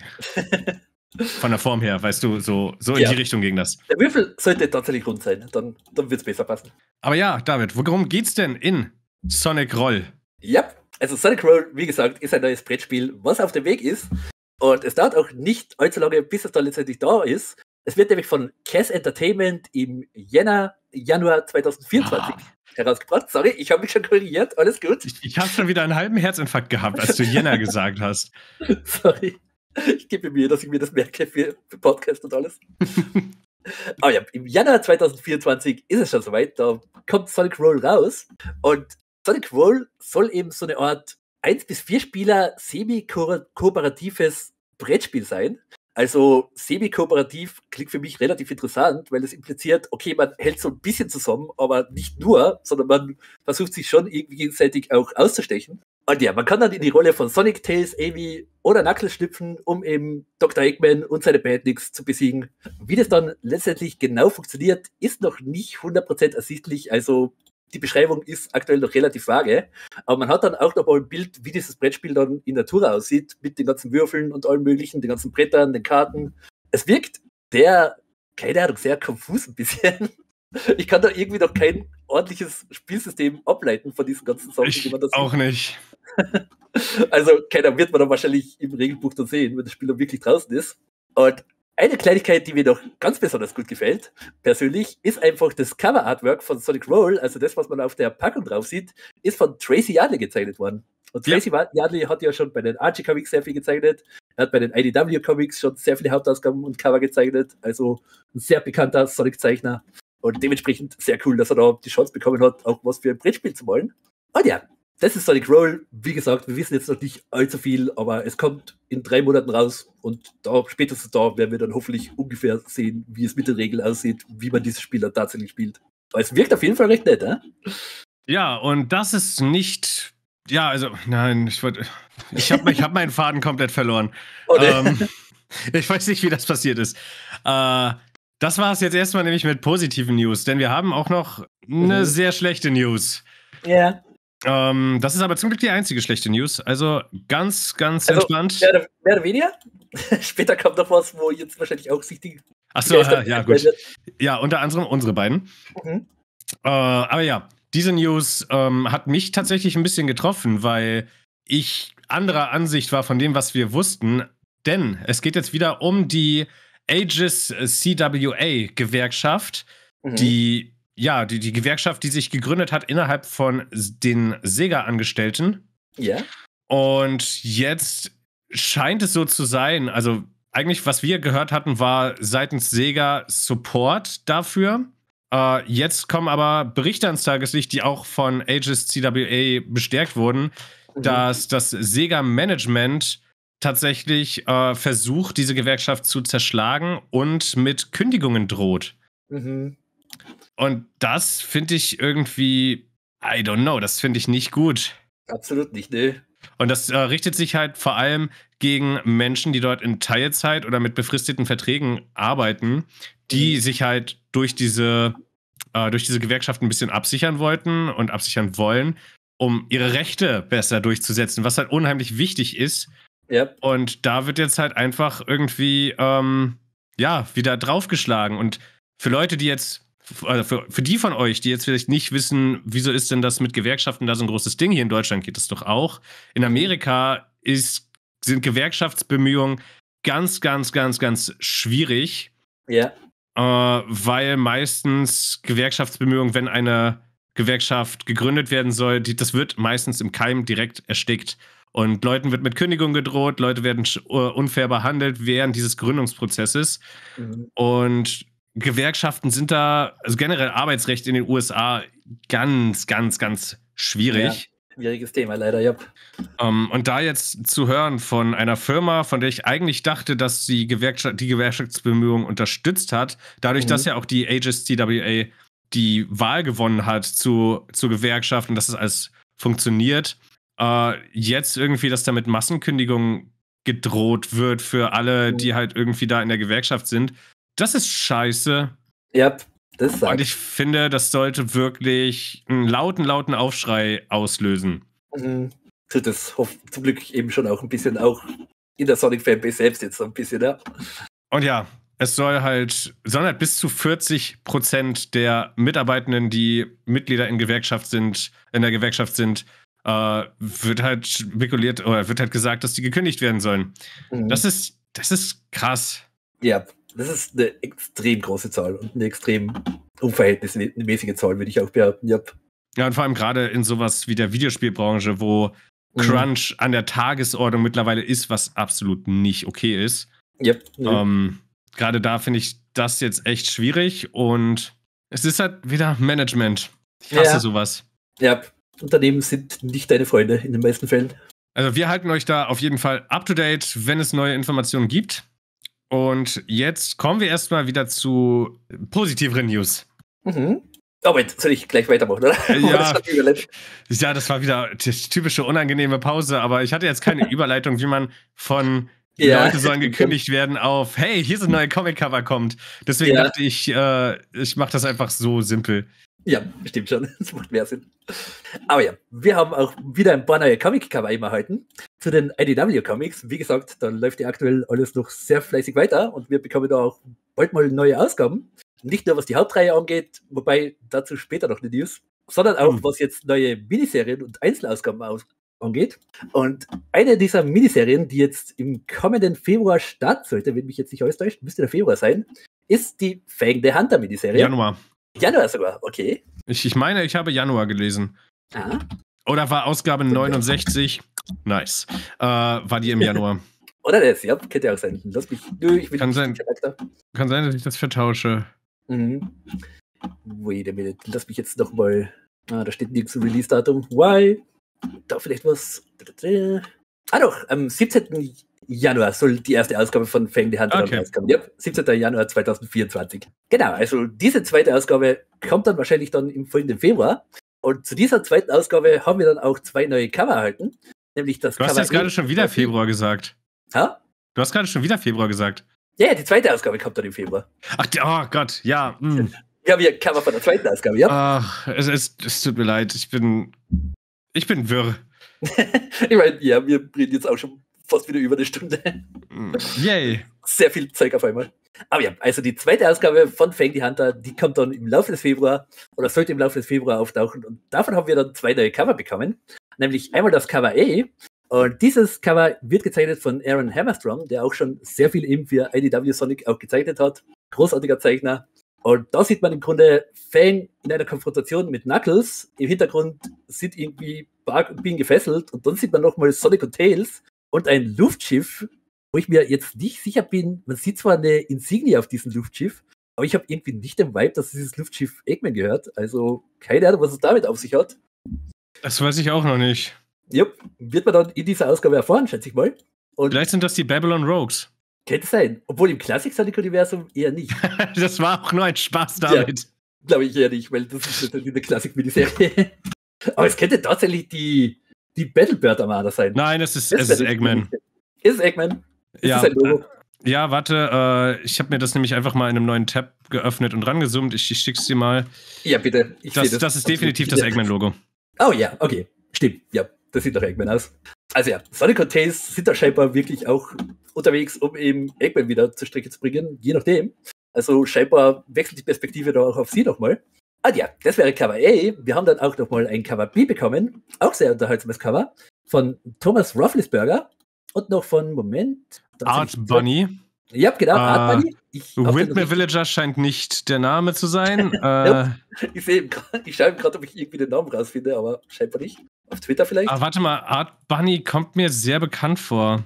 Mir auch eben, ja. Ich glaube, da haben wir schon mal irgendwie, ist schon mal erwähnt worden, jetzt letztens, was IDW Sonic angeht. Hatte ich hier äh, IDW Sonic Artist.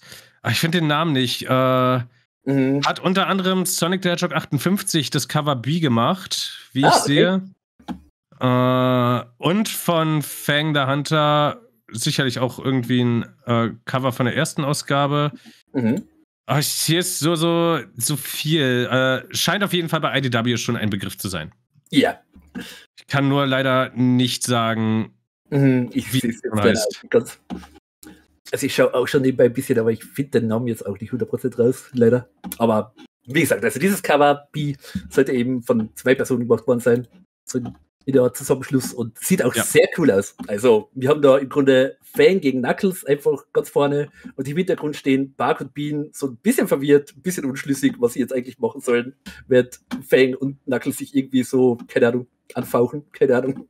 Ich mag tatsächlich, weil das eine richtig coole Wirkung hat, diese, diese dicken Konturlinien. Ja, das sieht cool aus. Also, mir gefällt das Cover echt verdammt gut. Ah, ja, um, wie ähm, gesagt. Hm? Warte mal. Ich, äh, aber das ist jetzt, das ist jetzt blöd. Selbst die Signatur auf dem Cover ist nur Magic Bun. Ah, okay. Dann nehme ich einfach Tiefennamen. Ja. Schwierig. Das ist einfach der, der Handle, mit dem sich diese Person identifiziert. Ja. ja. Aber ja, wie gesagt, sehr cooles Cover. Und diese Ausgabe, the Hunter, Ausgabe Nummer 2, kommt dann voraussichtlich im Laufe des Februar. Und jetzt in Richtung nächste News, weil da habe ich tatsächlich jetzt selbst eine kleine Überleitung. Was nämlich nicht mehr im Februar rauskommt, ist. Oh. Ja. ist die folgende Ausgabe. Und David wird angerufen. Ja. Hier ah. eine kurze Unterbrechung. Hier eine kurze Unterbrechung. Sorry, da muss ich mal kurz rangehen. Okay, sorry, bin wieder da. Sehr gut, dann kann David auch direkt die News weitermachen, weil umso weniger muss ich schneiden. okay, ja. Aber ja, wie gesagt. Also ihr habt also, jetzt wahrscheinlich nur eine ganz kurze Unterbrechung äh, gehört. Vielleicht lasse ich da ein, zwei Sekunden Abstand. Vielleicht auch nichts. Aber naja. Mhm. Aber ja, wie gesagt, also. Ironisch, dass es genau vor dieser News übrigens kam, der Anruf. Genau ja. bevor wir die Magic Number droppen. genau, ja.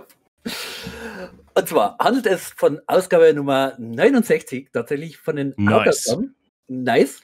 Und was die Hauptausgaben selbst angeht, haben wir da jetzt auch eine kleine Hiobsbotschaft für alle, die diese Ausgaben von IDW Sonic jetzt gerne verfolgen.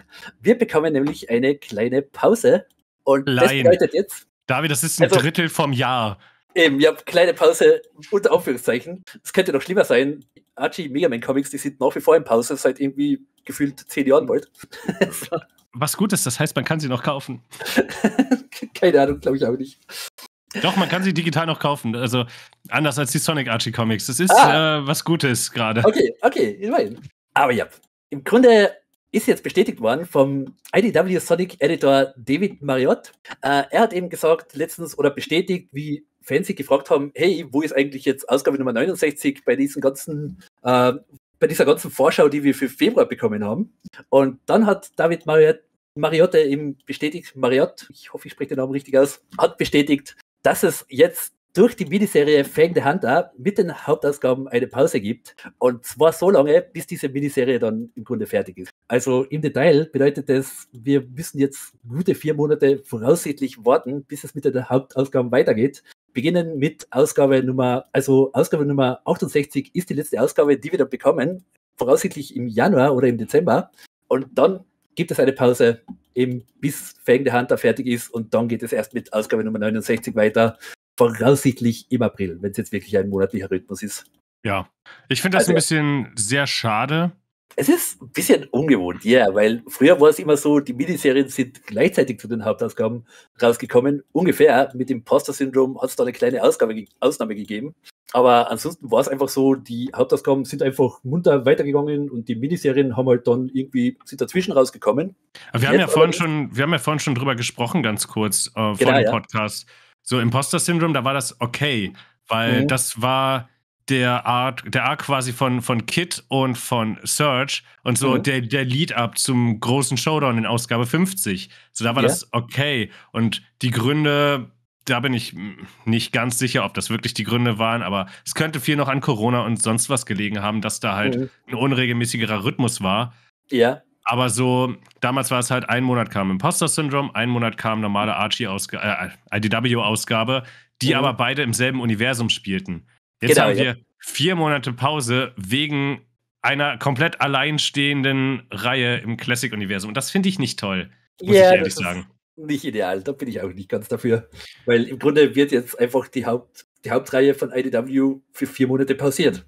Wir bekommen ja. zwar Comics, aber die sind halt in einem Nebenuniversum, im Classic Sonic-Universum, die jetzt mit den regulären IDW-Comics absolut nichts am Hut haben. Und ja, das ist ein bisschen bedauerlich und nicht ideal. Finde ich auch wirklich allzu cool. Wir werden vielleicht die Zeit nutzen, um in der Zeit dann halt einfach mal unsere Comic-Reviews äh, hier auf dem, in dem Podcast als auch auf der Website dann up to date zu bringen. Genau, ja, da bin ich ein bisschen hinten aus. Diese Pause gibt mir zumindest die Chance, jetzt gut aufzuholen. Immerhin etwas. Und wir sind ja irgendwie bei Ausgabe, oh Gott, 32 oder sowas hängen geblieben hier im Podcast. Könnte nee, sein, ja. Also wann, war, wann war Sombart vorbei? 28, oder? So ungefähr hoffe ich, aber ich habe es jetzt nicht mehr wirklich im Kopf. Aber ja, dass, dass wir da dann vielleicht mal in diesen vier Monaten die Chance nutzen, aufzuholen ähm, mhm. und bis zum aktuellen Arc zu reviewen. Ja. Mal schauen, ob wir das schaffen. Genau, ja. Ich ja. glaube noch nicht so 100% dran, aber wir werden es wir versuchen. Die Chance ist da, ja. Aber ja, also alle Comic-Fans, die müssen sich jetzt leider darauf einstellen, vier Monate, Monate darauf zu warten, wie es jetzt mit der, Haupt, mit der Hauptreihe wirklich weitergeht. Und, aber was, ja. ich auch, was ich auch gelesen habe auf Twitter äh, unter anderem, ist halt, dass sie bestimmt was Gigantisches einfach am Kochen sind für Ausgabe 69. Nice. Nice ich hoffe es. Also hoffentlich kommt die Reihe dann wirklich richtig stark wieder zurück und es geht plottechnisch dann wieder, keine Ahnung, in Richtung von der größeren Arc auch. Wir haben jetzt aktuell diese ganzen zwei Ausgaben, wo einfach so zwei kleine Slice-of-Life-Geschichten größtenteils mit dabei sind, die an sich sehr charmant sind, aber sie bringen halt den allgemeinen Plot nicht ganz so stark weiter. Also mhm. hoffe ich mal, mit Ausgabe Nummer 69 geht es dann wieder in Richtung größerer nice. Arc. Aber wird man dann auch sehen, ja. Aber wie gesagt, erst frühestens im April, wie es aussieht. Ja, und um die Wartezeit etwas zu überbrücken, haben wir natürlich auch neues Merchandise. Mhm. Allerdings weiß ich nicht, ob das auch hier in Deutschland der, der Fall ist. Ja. Äh, ich muss danach mal gerade ganz kurz nebenher googeln, denn es mhm. gibt ein neues Happy Meal in Europa mit neuem Sonic-Spielzeug. Und in Deutschland gibt es das nicht, weil in Deutschland gibt es keine Spielzeuge mit Plastik mehr, wie es aussieht. Ja. Was an sich gut ist. Äh, und die Spielzeuge sind auch nicht so hübsch, jetzt muss ich sagen.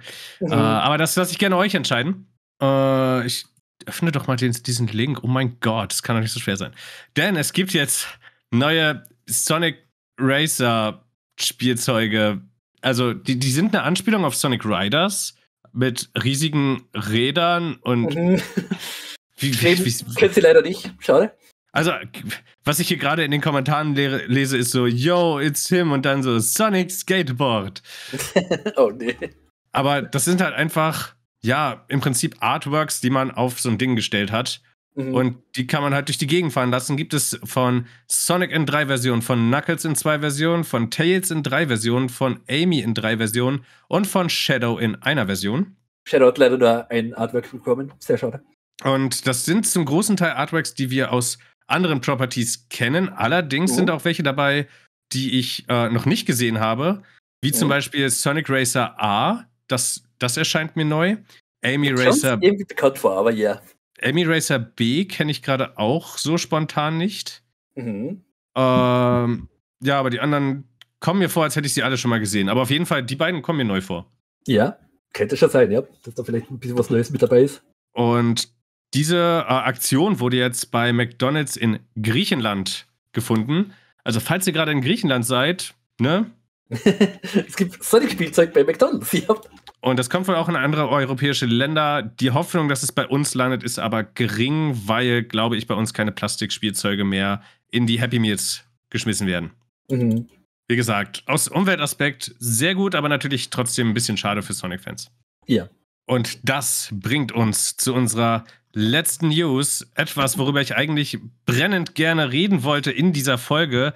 Aber mhm. natürlich hat der liebe David es noch nicht gesehen und natürlich habe ich es auch noch nicht gesehen. ja, tatsächlich. Da müssen wir doch ein bisschen drauf warten. Es geht um Scott Pilgrim Takes Off, der mhm. neuen, des neuen äh, Scott Pilgrim Animes, der auf Netflix gerade läuft. Mhm. Seit dem äh, 17. glaube ich, 17. November. Ich glaube ja, das war genau der Tag mit der Sonic Symphony, deswegen habe ich das im Kopf gehabt. Und ich habe jetzt äh, gerade kein Netflix-Abo, deswegen konnte ich es nicht gucken und David hat. Keine Zeit? Sagen wir, sagen wir es so, ja, David hat keine Zeit, in Anführungsstrichen, also, und ist deswegen nicht geschaut. Ich wollte es mit dem Kumpel schauen und das hat sich noch nicht ergeben. Ich glaube, das ist besser. Und es gibt eine Sonic-Anspielung. Wir werden jetzt nicht zu viel spoilern. Wir werden nicht spoilern, wann es kommt, nicht in äh, welcher Szene. Das könnt ihr euch im verlinkten Sonic Stadium-Artikel in den Weblinks zum Nachlesen auf YouTube und auf spindash.de im Newsartikel durch äh, anschauen. Mhm. Äh, da ist auch die Szene einmal als Clip drin. Geht etwa eine Minute. Und da spricht Scott mit jemandem, der Hauptcharakter Scott, äh, und sagt: Hier, kleine Spoilerwarnung, es gibt äh, eine Minute vor, wenn ihr das nicht hören wollt. You know Sonic the Hedgehog, you probably know this, but in the early 90s there were two different Sonic cartoons airing at the same time. One was dark and dramatic, the other was a hilarious comedy about chili dogs, and the guy who and the same guy played Sonic in both shows. Isn't that wild? The same guy playing two different versions of the same guy. Also im Prinzip, hey, kennst du Sonic the Hedgehog? Du wusstest das vielleicht nicht, aber in den 90ern gab es zwei verschiedene Sonic-Cartoons. Der eine war halt super dark und äh, dunkel und dramatisch und der andere war super witzig und über Chili Dogs. Und der gleiche Typ hat Sonic in beiden Versionen gespielt. Ist das nicht wild? Der, der, der, der, gleiche Typ hat zwei verschiedene äh, Versionen vom sel selben Typ gespielt. Und dazu sage ich, wild. Bre. Wow. Schlimm. Wahnsinn. Ja, und das oh ja. ist halt einfach so, äh, ich weiß nicht, dass das das spielt auch so viele schöne, schöne Sachen an, eigentlich. So, ja? man ist halt nervös und dann, hey, wusstest du schon? Und dann so random Trivia-Fact. Random Videospiel-Trivia, ja, kommt immer gut an. Hat auch ein, ja, nee, nee, das sag ich nicht. Äh, es, es, es gab mal dieses, dieses eine Meme, wo, ah. äh, das ist so ein Screaming Boyfriend-Meme, glaube ich. Okay. Warte, ich, ich muss mal kurz danach googeln. Äh, wo halt äh, das, das Mädchen einfach dasteht und der Freund irgendwie betrunken da äh, steht neben ihr und schreit sie halt an. Mit irgend. Ah, ja, hier. Ich habe eine Version des Memes gefunden, ich schick's dir mal. Du wirst es garantiert erkennen, aber es ist umgekehrt, denn das Mädchen schreit ihn an. Okay. und das hat, das hat für mich einfach same Vibes. Mhm. Schon ein bisschen, ja.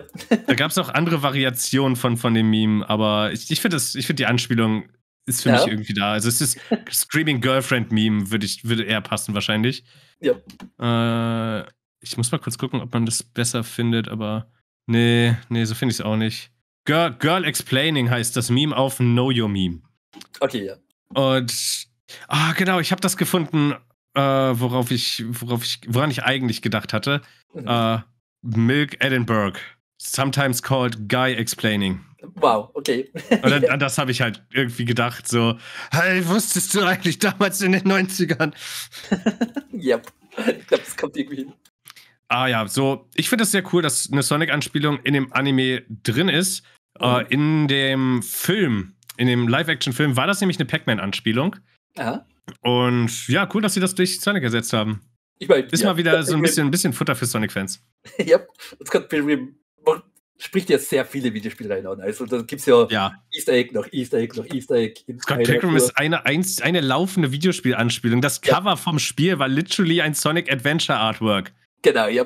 Also kann man erwarten, dass da einfach populäre Videospielreihen einfach erwähnt werden und immer wieder mal so einen kleinen Shoutout bekommen. Ja. Aber schön, dass Sonic diesmal auch dabei ist, ja. So, und jetzt haben wir damit unseren News-Rückblick abgeschlossen. Mhm. Hat noch ein bisschen länger gedauert als erwartet, aber ich glaube, die Sonic Boom-Diskussion die jetzt kommen wird, können wir. Ja. Müssen, müssen wir nicht ganz so ausführlich halten. Ja, würde ich auch sagen, weil ganz nebenbei, ich habe es nach wie vor nicht gespielt. Also. Ja, aber David hat die ganze Zeit zuschauen müssen. Ja, ich habe zuschauen müssen. Ich wäre mehrmals okay. fast dabei eingeschlafen, aber ich, ich bin stark geblieben. Und ich habe es ja am Anfang schon ein bisschen angeteasert. So, also wir starten jetzt, ab jetzt in die Sonic Boom Lyrics Aufstieg Diskussion. Mhm. Und was ich ja am Anfang meinte, ist, dass dieses Spiel so ein ganz, ganz, ganz großes Problem hat, was alle anderen Probleme überschattet, weswegen das Spiel wahrscheinlich unterm Strich doch ein bisschen positiver wegkommt, als es zu erwarten wäre bei mir. Aha. Äh, und vielleicht auch bei dir, David. Und dieser Punkt ist, dass es einfach furchtbar langweilig ist. Ja, ich glaube, das ist die perfekte Tagline für dieses Spiel. Einfach also ich, ich kann, langweilig. Ich, ich kann einfach über sämtliche Bugs, die passiert sind, hinwegsehen. Ich kann darüber hinwegsehen, dass das Ding meine Wii U gegrillt hat. Ich kann darüber hinwegsehen, dass das Voice Acting einfach unter aller Kanone ist in der englischen Version. Äh, wobei, es, es, auch? Äh, teilweise schon. Also, was, was Lyrics-Synchronsprecher da teilweise macht, was äh, Sonic-Synchronsprecher, also Roger Craig Smith, einfach nicht. Also, die Synchronleistung ist gut. Das mhm. Writing äh, und die Voice Direction sind halt nur scheiße. So, das trifft es besser. ich glaube, das ist eher das Problem, ja. Und I don't know, sowohl im Deutschen als auch im Englischen funktioniert da einfach das alles halt irgendwie nicht, aber mhm. halt irgendwie erfüllt es seinen Zweck schon für das, was es halt ist. Aber das alles hilft nicht darüber hinwegzutrösten und nichts ist so schlimm wie die Tatsache, dass es langweilig ist. Yep. Absolut stinklangweilig. Du kannst faktisch nicht sterben, so, also, weil ein, ein Tod hat überhaupt keine Konsequenz. Wenn du mitten in einem Kampf stirbst, spawnst du in diesem Kampf neu. Und doch, es hat eine Konsequenz. Man verliert diese Maschinenteilchen, die man sammeln muss, die extrem verdammt wichtig sind für das Spiel. Ja, damit kann man halt irgendwie so ein paar Gebäude bauen, aber. ja, es ist vollkommen. Also, es ist irgendwie so, man kann halt irgendwie Nebenquests machen und kriegt halt dann die ganzen Sammelgegenstände, wenn man das macht. Aber für den regulären Story-Durchgang braucht man das absolut nicht. Dementsprechend, who cares? Sämtliche Rätsel in diesem Spiel sind aufgebaut wie drücke einen Knopf, Rätsel gelöst.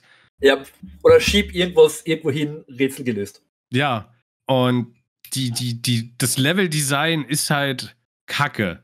Mhm, yeah. Ich weiß nicht, ob man das überhaupt Leveldesign nennen kann, weil alles besteht aus entweder engen Straßen, die geradeaus gehen und ja, oh nein, da sind Hindernisse. Und wenn man dagegen läuft, ja, dann verliert man fünf Ringe. Oh, wie schlimm. Mhm.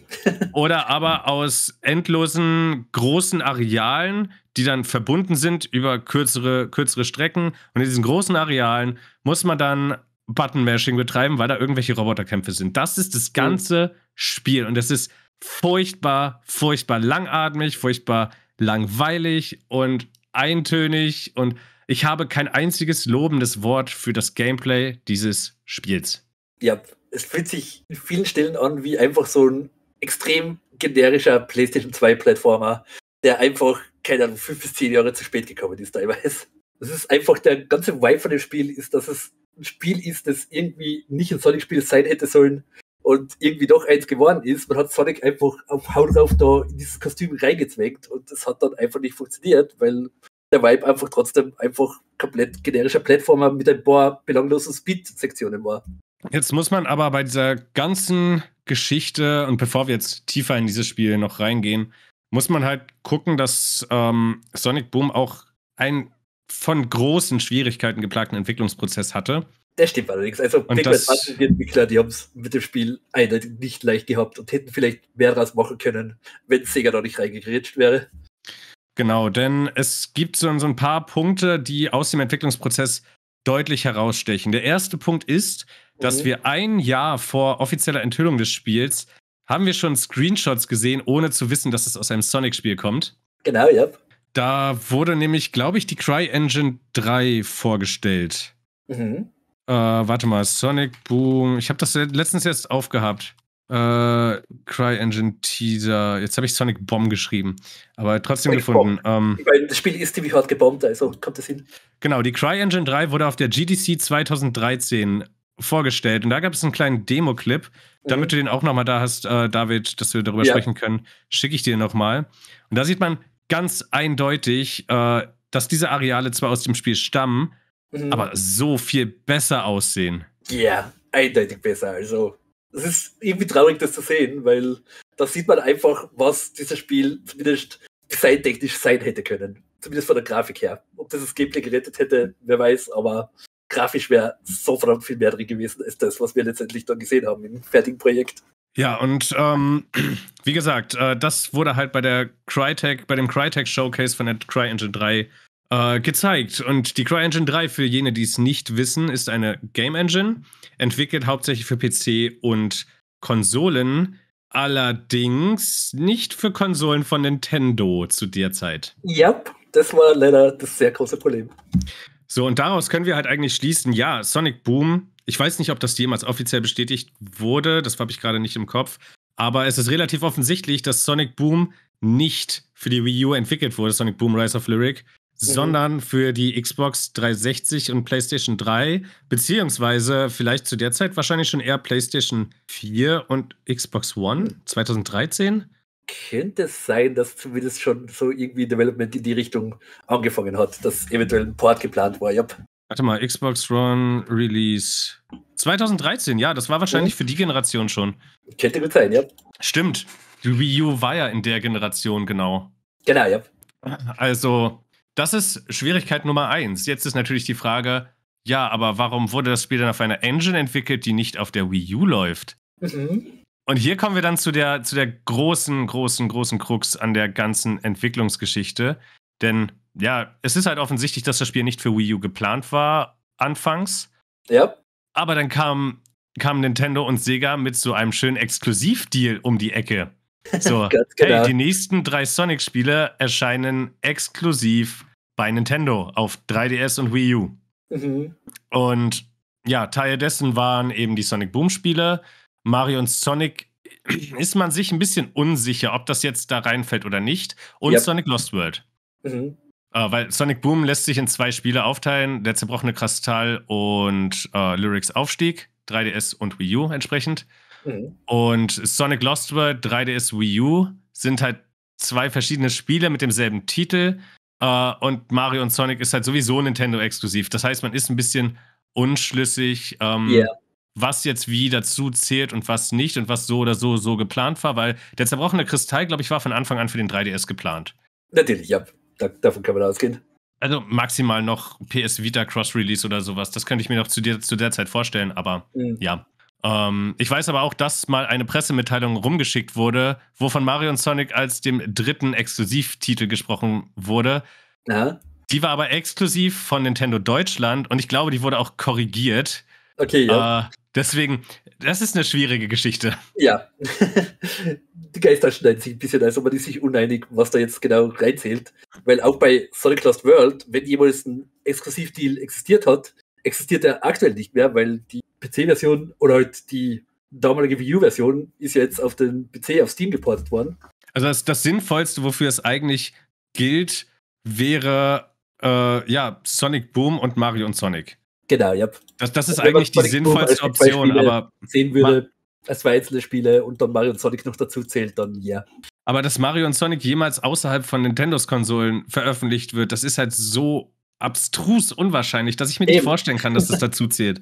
Also, ja, irgendwie. Es ist ein neues Mario-Spiel. Das werden die wohl ist, ist, ja am, ist ja am Ende auch vollkommen egal. Wichtig ja. ist, äh, dass Big Red Button, soweit, wurde das, glaube ich, auch in einem Interview mal bestätigt, mhm. äh, war dann so Leute, wieso kommt das jetzt auf der Wii U? Die Cry-Engine läuft nicht auf der Wii U und Sega scheint wohl sinngemäß so gewesen zu sein, ja, dann portiert sie halt.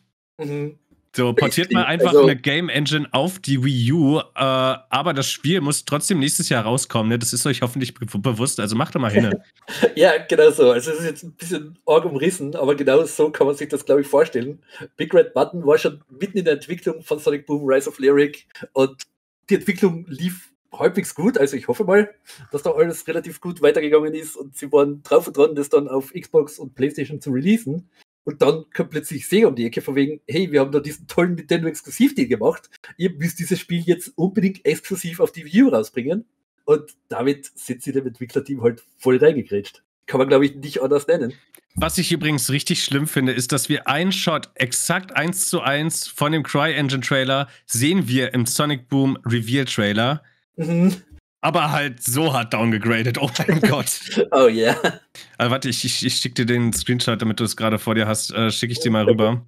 Der, der Shot ist halt so eins zu mhm. eins da in dem, in dem Dings drinne und boy. Oh boy. Das yep. ist äh, wild. Es ist übel, ja. Also, man kann einfach sagen, Sonic Boom Rise of Lyric hat eine sehr turbulente Entwicklungsgeschichte gehabt. Und das hat sich dann letztendlich auch im Endprojekt stark wiedergespiegelt, würde ich behaupten. Ja, und wir, wir springen dann halt erstmal von Mai 2013, der Reveal der CryEngine 3 mit Szenen, wie wir dann wussten, aus Sonic Boom Rise of Lyric, mhm. zum 6. Februar 2014, ähm, wo Sonic Boom enthüllt wurde für mhm. Wii U als Exklusivtitel für. Also, da wurde einfach nur Sonic Boom Videogame Reveal Trailer gesagt. Äh, ja. Exklusiv für Wii U und 3DS. Wir sehen aber nur Rise of Lyric. Mhm. Und da muss ich sagen, das Spiel läuft so viel flüssiger als das yeah. finale Produkt, ist aber tatsächlich auch hässlicher. Mhm. Also die Charaktermodelle sind hässlicher, der Rest ist hübscher. Sagen, so, ja. so trifft es, glaube ich, das am ehesten. Die Charaktermodelle waren wahrscheinlich auch noch ziemlich in früher Arbeit, ja. Und ich glaube auch nicht, dass das schon auf der Wii U ist. Also das Gameplay, was wir sehen, das ist noch nicht auf Wii U, glaube ich. Mhm. Keine Ahnung, schwer im Nachhinein zu sagen, aber ja. Weil, wie gesagt, ähm, abgesehen von den Charaktermodellen sieht alles besser aus als das finale Spiel dann am Ende. Mhm. Und trotzdem schlechter als in der CryEngine-Demo. Aber yep. vielleicht, vielleicht, haben sie es da schon mal auf richtiger Hardware gehabt. Mhm. Um, und dann, oh Gott, das ist ja das eines der lächerlichsten Ereignisse jemals in Sonic, oh. dass dann einfach in diesem Trailer Skrillex mit Bangerang als Hintergrundmusik läuft. ja, das war ein bisschen sehr seltsam gewählt. Ah, bitter. Bitter. ja. Vor allem, wie gesagt, das ganze Projekt hat mit diesem Trailer noch halbwegs vielversprechend ausgesehen. Ja, man hat einfach diese ganzen Lore-Andeutungen von wegen, hey, da ist eine seltsame Kinderstatue, was könnte das bedeuten? Oder hey, das Gameplay sieht eigentlich halbwegs nett aus für den Sonic-Plattform. Vielleicht geht es so in Richtung Sonic Adventure zurück, wo die Charaktere alle ihre jeweiligen Fähigkeiten haben und man einfach so ein bisschen offenere Welten hat. Damals war die Stimmung noch nicht so abgrundtief weit unten zu diesem Spiel, es dann letztendlich natürlich mit Release der Fall war, wo alle dann gesehen haben, was da tatsächlich auf uns zukommt. Mhm.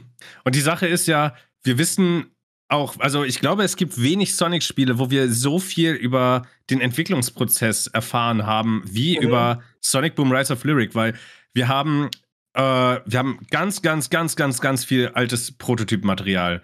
Also mhm. wirklich, das, das ist verdammt viel. Wir haben sämtliche alten Logos, wir haben sämtliche alten Konzeptdesigns von den Charakteren, yep. also wie Sonic mal aussehen sollte, wie Knuckles aussehen sollte und, und, und. Genau, ja. Ähm, super viele Konzept Levels, die es niemals ins Spiel geschafft haben.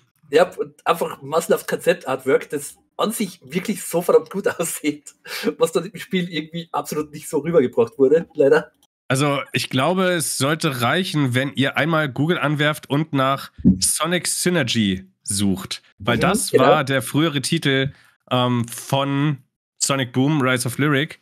Yep. Und ähm, wie gesagt, es, es gibt halt so, so viel Material und ich finde das, ich finde das krass, ja. wie viel wir davon haben von diesen Early Designs.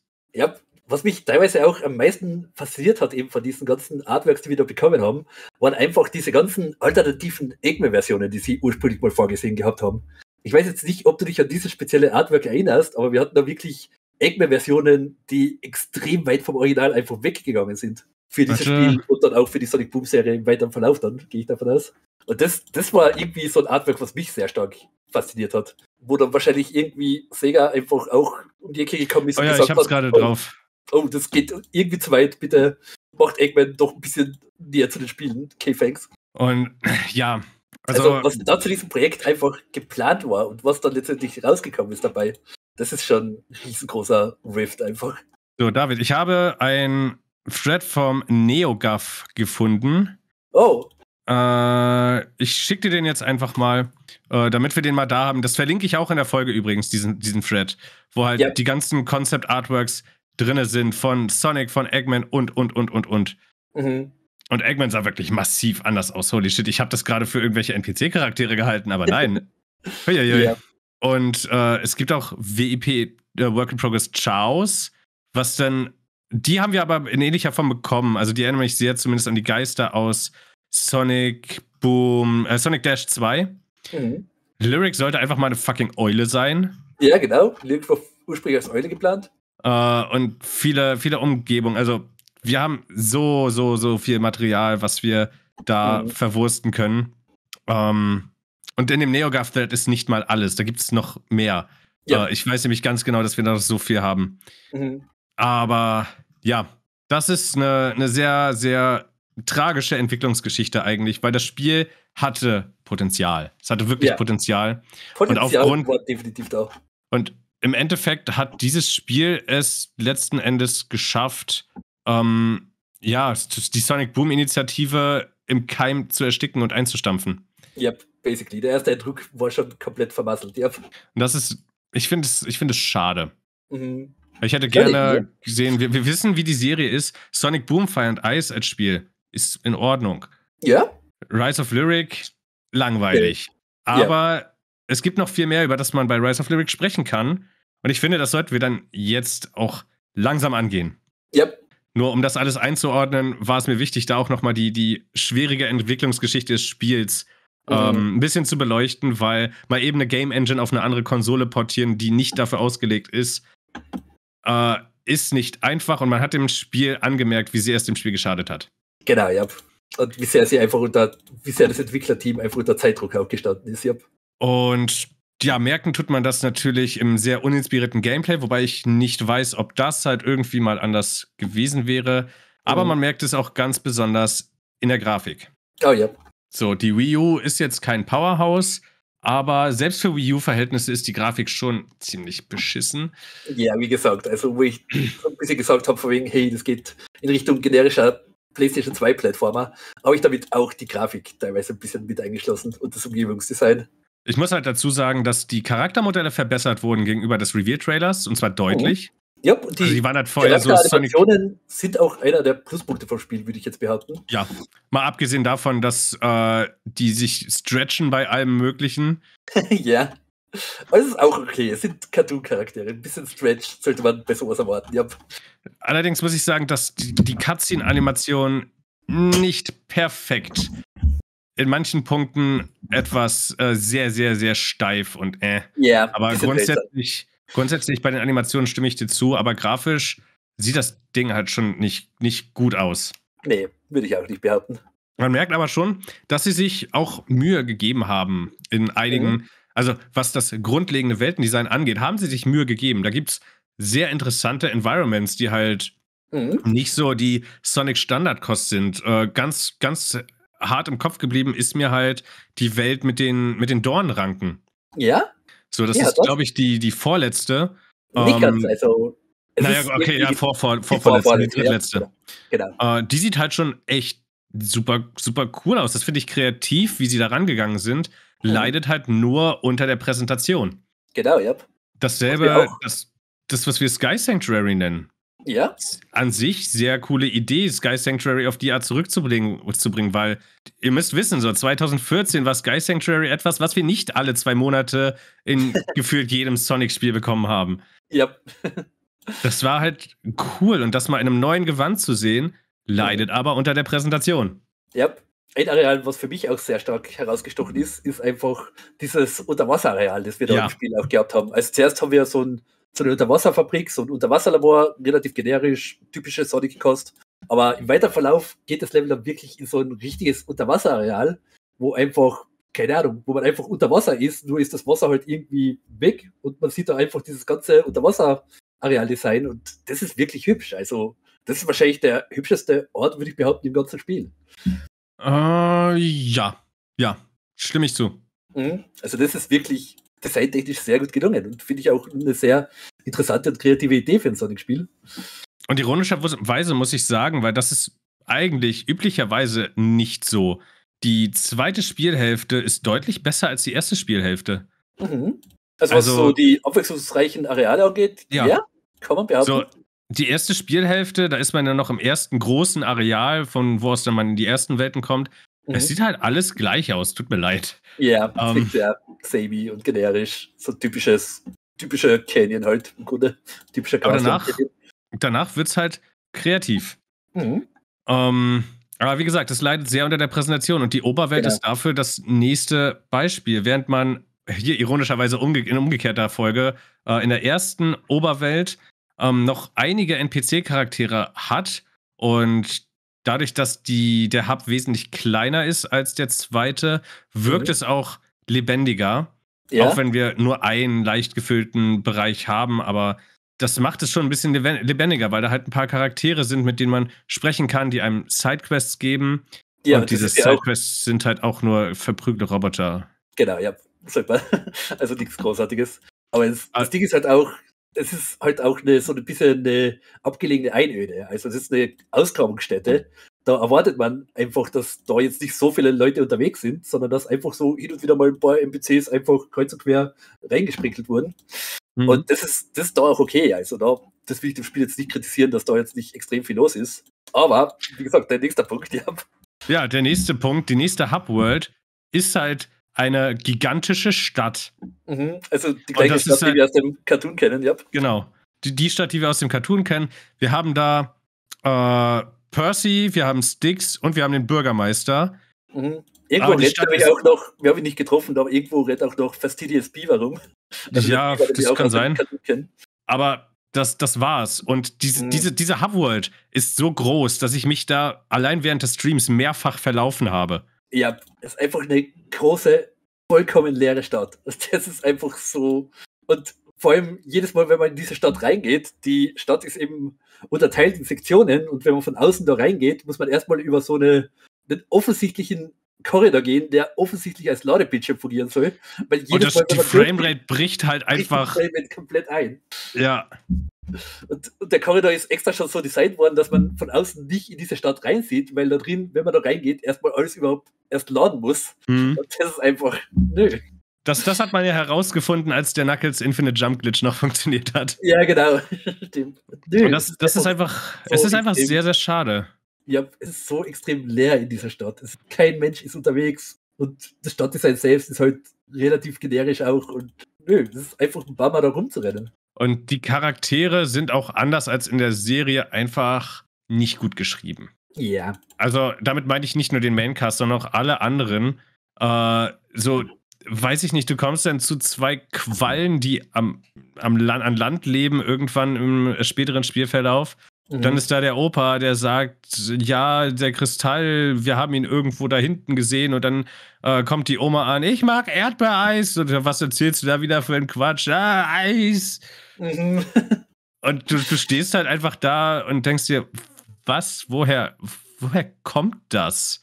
Ja, es ist irgendwie beeindruckend, wie schlecht Rise of Lyric, also das Spiel jetzt geschrieben ist, wenn man bedenkt, wie gut die Serie selbst geschrieben ist. Es ist Sonic mhm.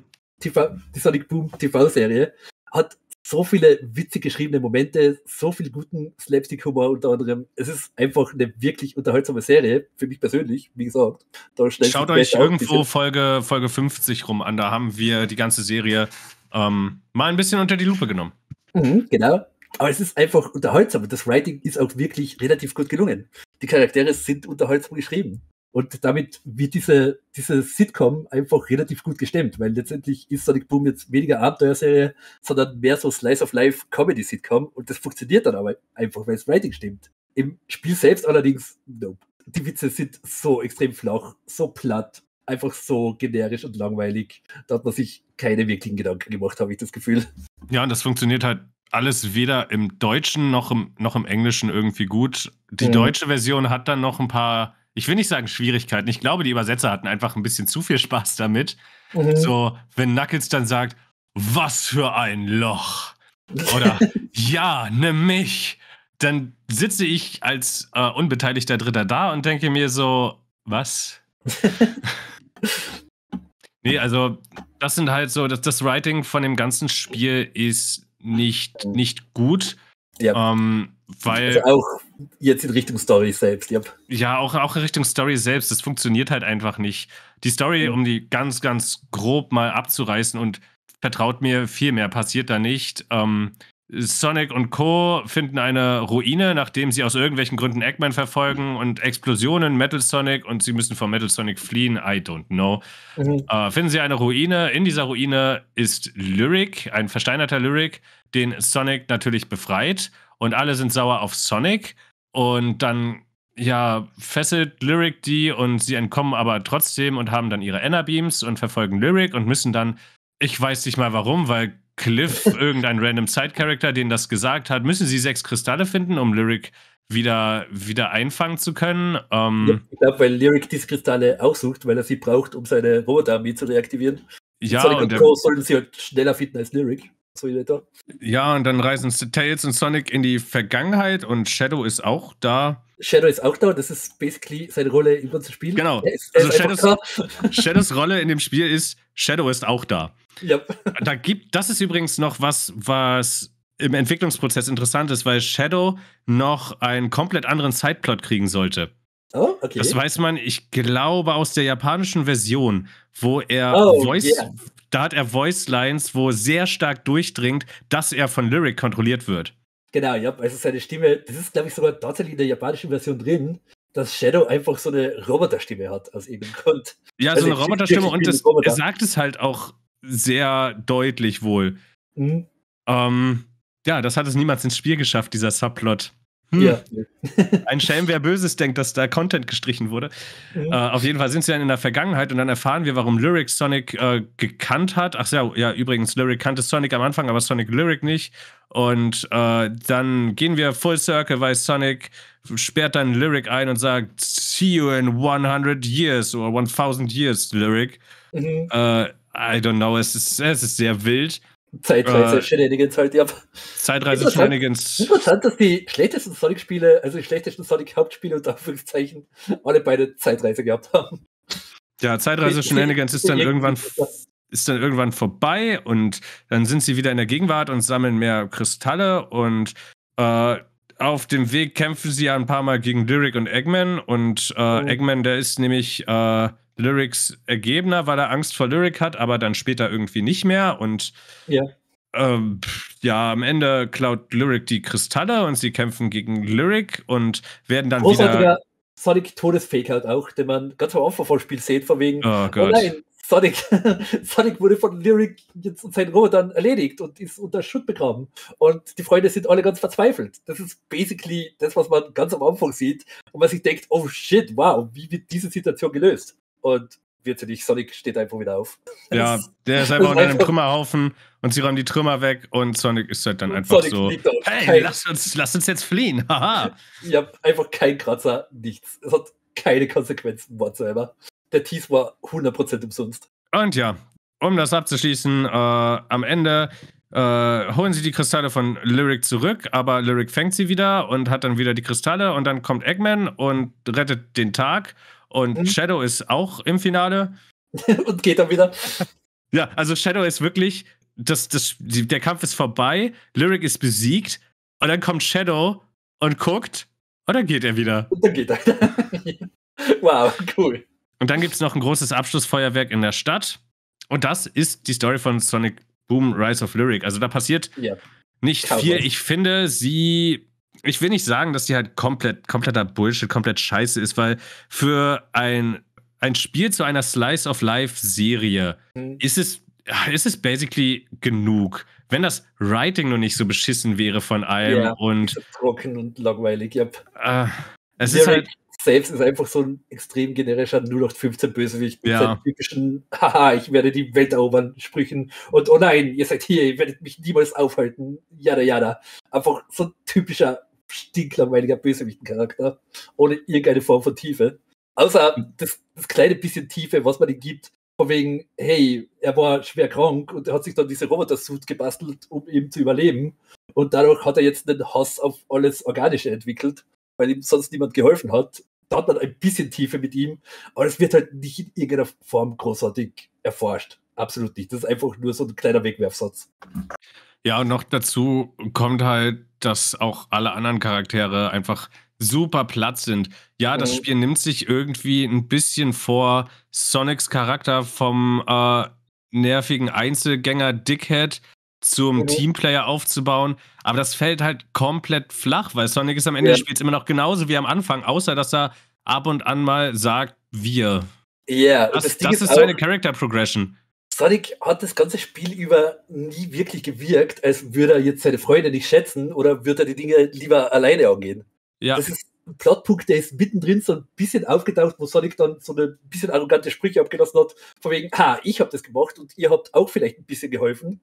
Und das war dann einfach das einzige Mal, dass Sonic da in der Hinsicht ein bisschen arrogant war, weil im Rest des Spiels hat man das einfach absolut nie gehabt, dass Sonic da irgendwie seine Teammitglieder nicht schätzen wird. Das ist wieder so ein Konflikt, der einfach auf Haut drauf reingezwängt wurde, obwohl er absolut nicht wirklich reingepasst hat. Weil hätten sie das wirklich irgendwie machen wollen, von wegen, hey, Sonic ist lieber Einzelgänger und er sieht sich selbst als das Beste und Tolle, da wäre es einfach toll gesehen, wenn man hin und wieder mal Sektion gehabt hätte, wo Sonic einfach nach vorne rennt und sich denkt, okay, das mache ich jetzt alleine, ich lasse meine Freunde im wahrsten Sinne des Wortes im Staub zurück. Aber das passiert absolut nicht. Und deswegen hat es dann auch absolut keinen Payoff in irgendeiner Form.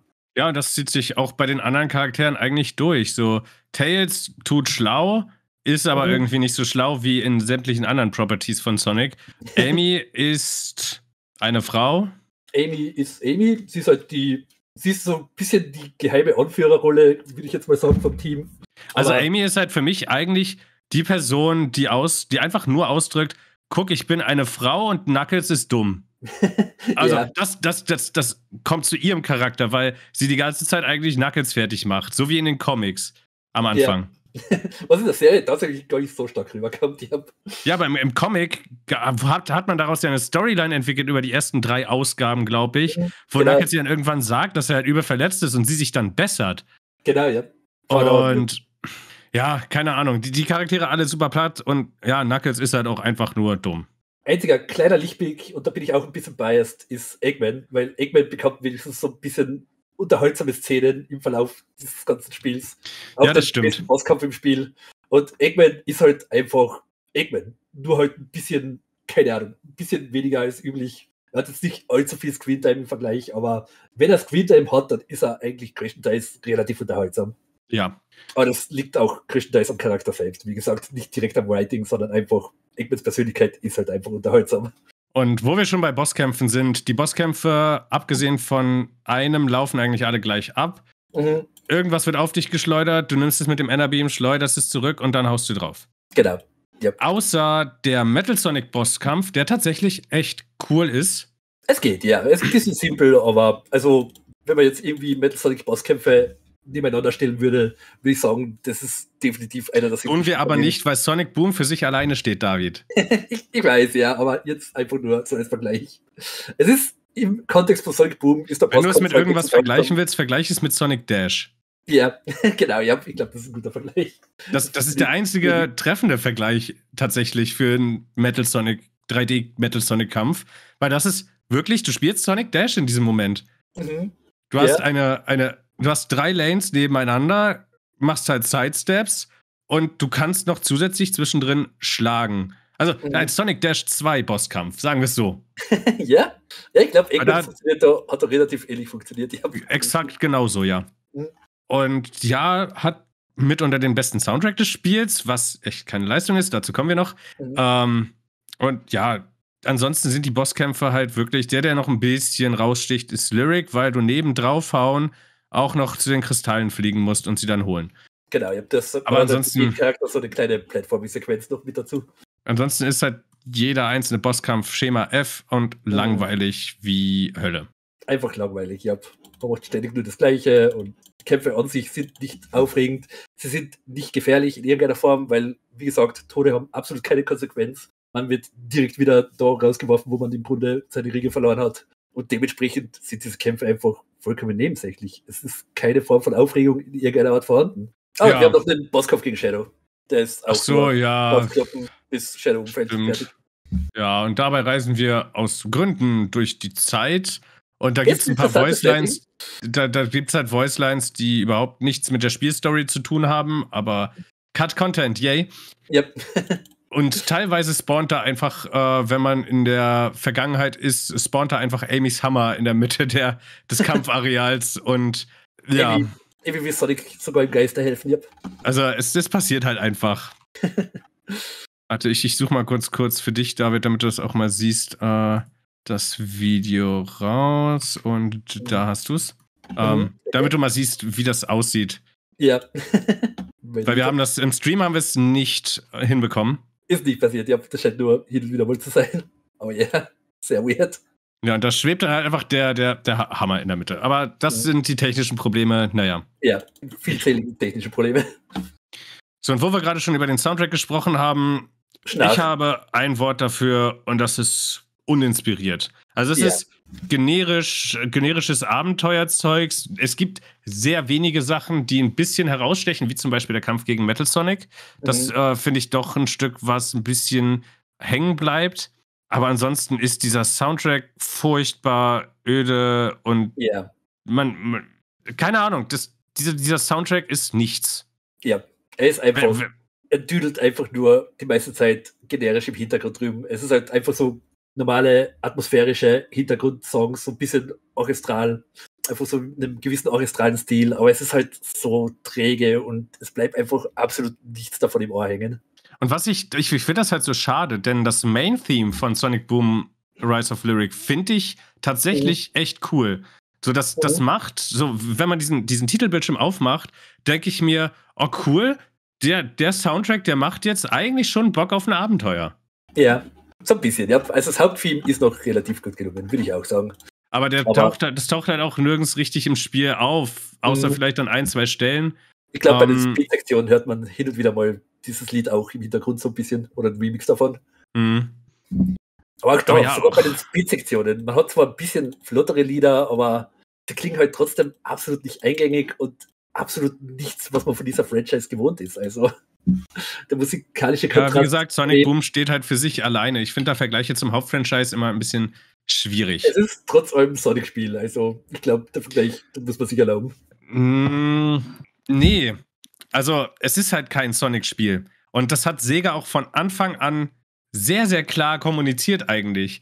So, die haben halt dieses Franchise mit dem Charakter Sonic gebrandet, um das als Unterfranchise irgendwie laufen zu haben. Es soll sich, sollte sich aber von Anfang an ganz, ganz, ganz klar, und darum haben wir auch die Redesigns, von dem Hauptfranchise unterscheiden. Mhm. Ich meine, das ja, haben- das war der ursprüngliche Plan auf jeden Fall. das das haben sie halt wirklich sehr, sehr ausführlich immer wieder gesagt. Mhm. So, Sonic Boom wird nicht das Hauptfranchise ersetzen, sondern nebenher laufen. Sonic Boom ist etwas anderes als das Hauptfranchise. Das ist echt sehr lang nebenher gelaufen. Ja, hat gut funktioniert. Ja, und ich meine, Sonic Boom war die erfolgreichste Sonic-Serie, oder nicht? Boah, ob erfolgreichste kann Also bis, bis sie halt von Cartoon Network weg sind, ne? Darüber brauchen Ja, wir nicht sprechen. Ich meine, Zuschauerzahlen waren schon relativ stark, bis Cartoon Network das dann irgendwie sabotiert hat, ja, aus Gründen. Aber ja, weil ob- Teen Titans Go hat halt mehr Teen Titans Go hat halt mehr Zuschauer gehabt, äh, Ja. als die Zuschauer gehabt. Also von daher, leider, naja. keine Ahnung, ob ich mich jetzt aus dem Fenster lehnen würde und sagen würde, dass Sonic Boom die erfolgreichste Sonic-Serie war. Ich Okay, eine der weil es ist- erfolgreicheren. Es ist meine Sonic-Serie. Lieblings-Sonic-Serie neben Sonic Prime. Also, Sagen wir einfach eine der erfolgreicheren Sonic-Serien. Ich glaube, das trifft Ja. es eher. ich meine, es hat eine zweite Staffel bekommen. Zwar nicht bei uns, aber zumindest in Amerika und in anderen Regionen. Ähm, und ja, kommen wir halt mal zur Technik des Spiels. Oh. Ähm, ja, die, die Technik, die Technik, Thaddeus, die Technik. Also äh, technisch, und da bin ich äh, gewillt, an Big Red Button Dinge zu verzeihen. Mhm. Äh, aber nicht an Sega, weil das definitiv daraus resultiert, dass die halt so auf die Wii U gepusht haben und an dem Release festgehalten haben und und und.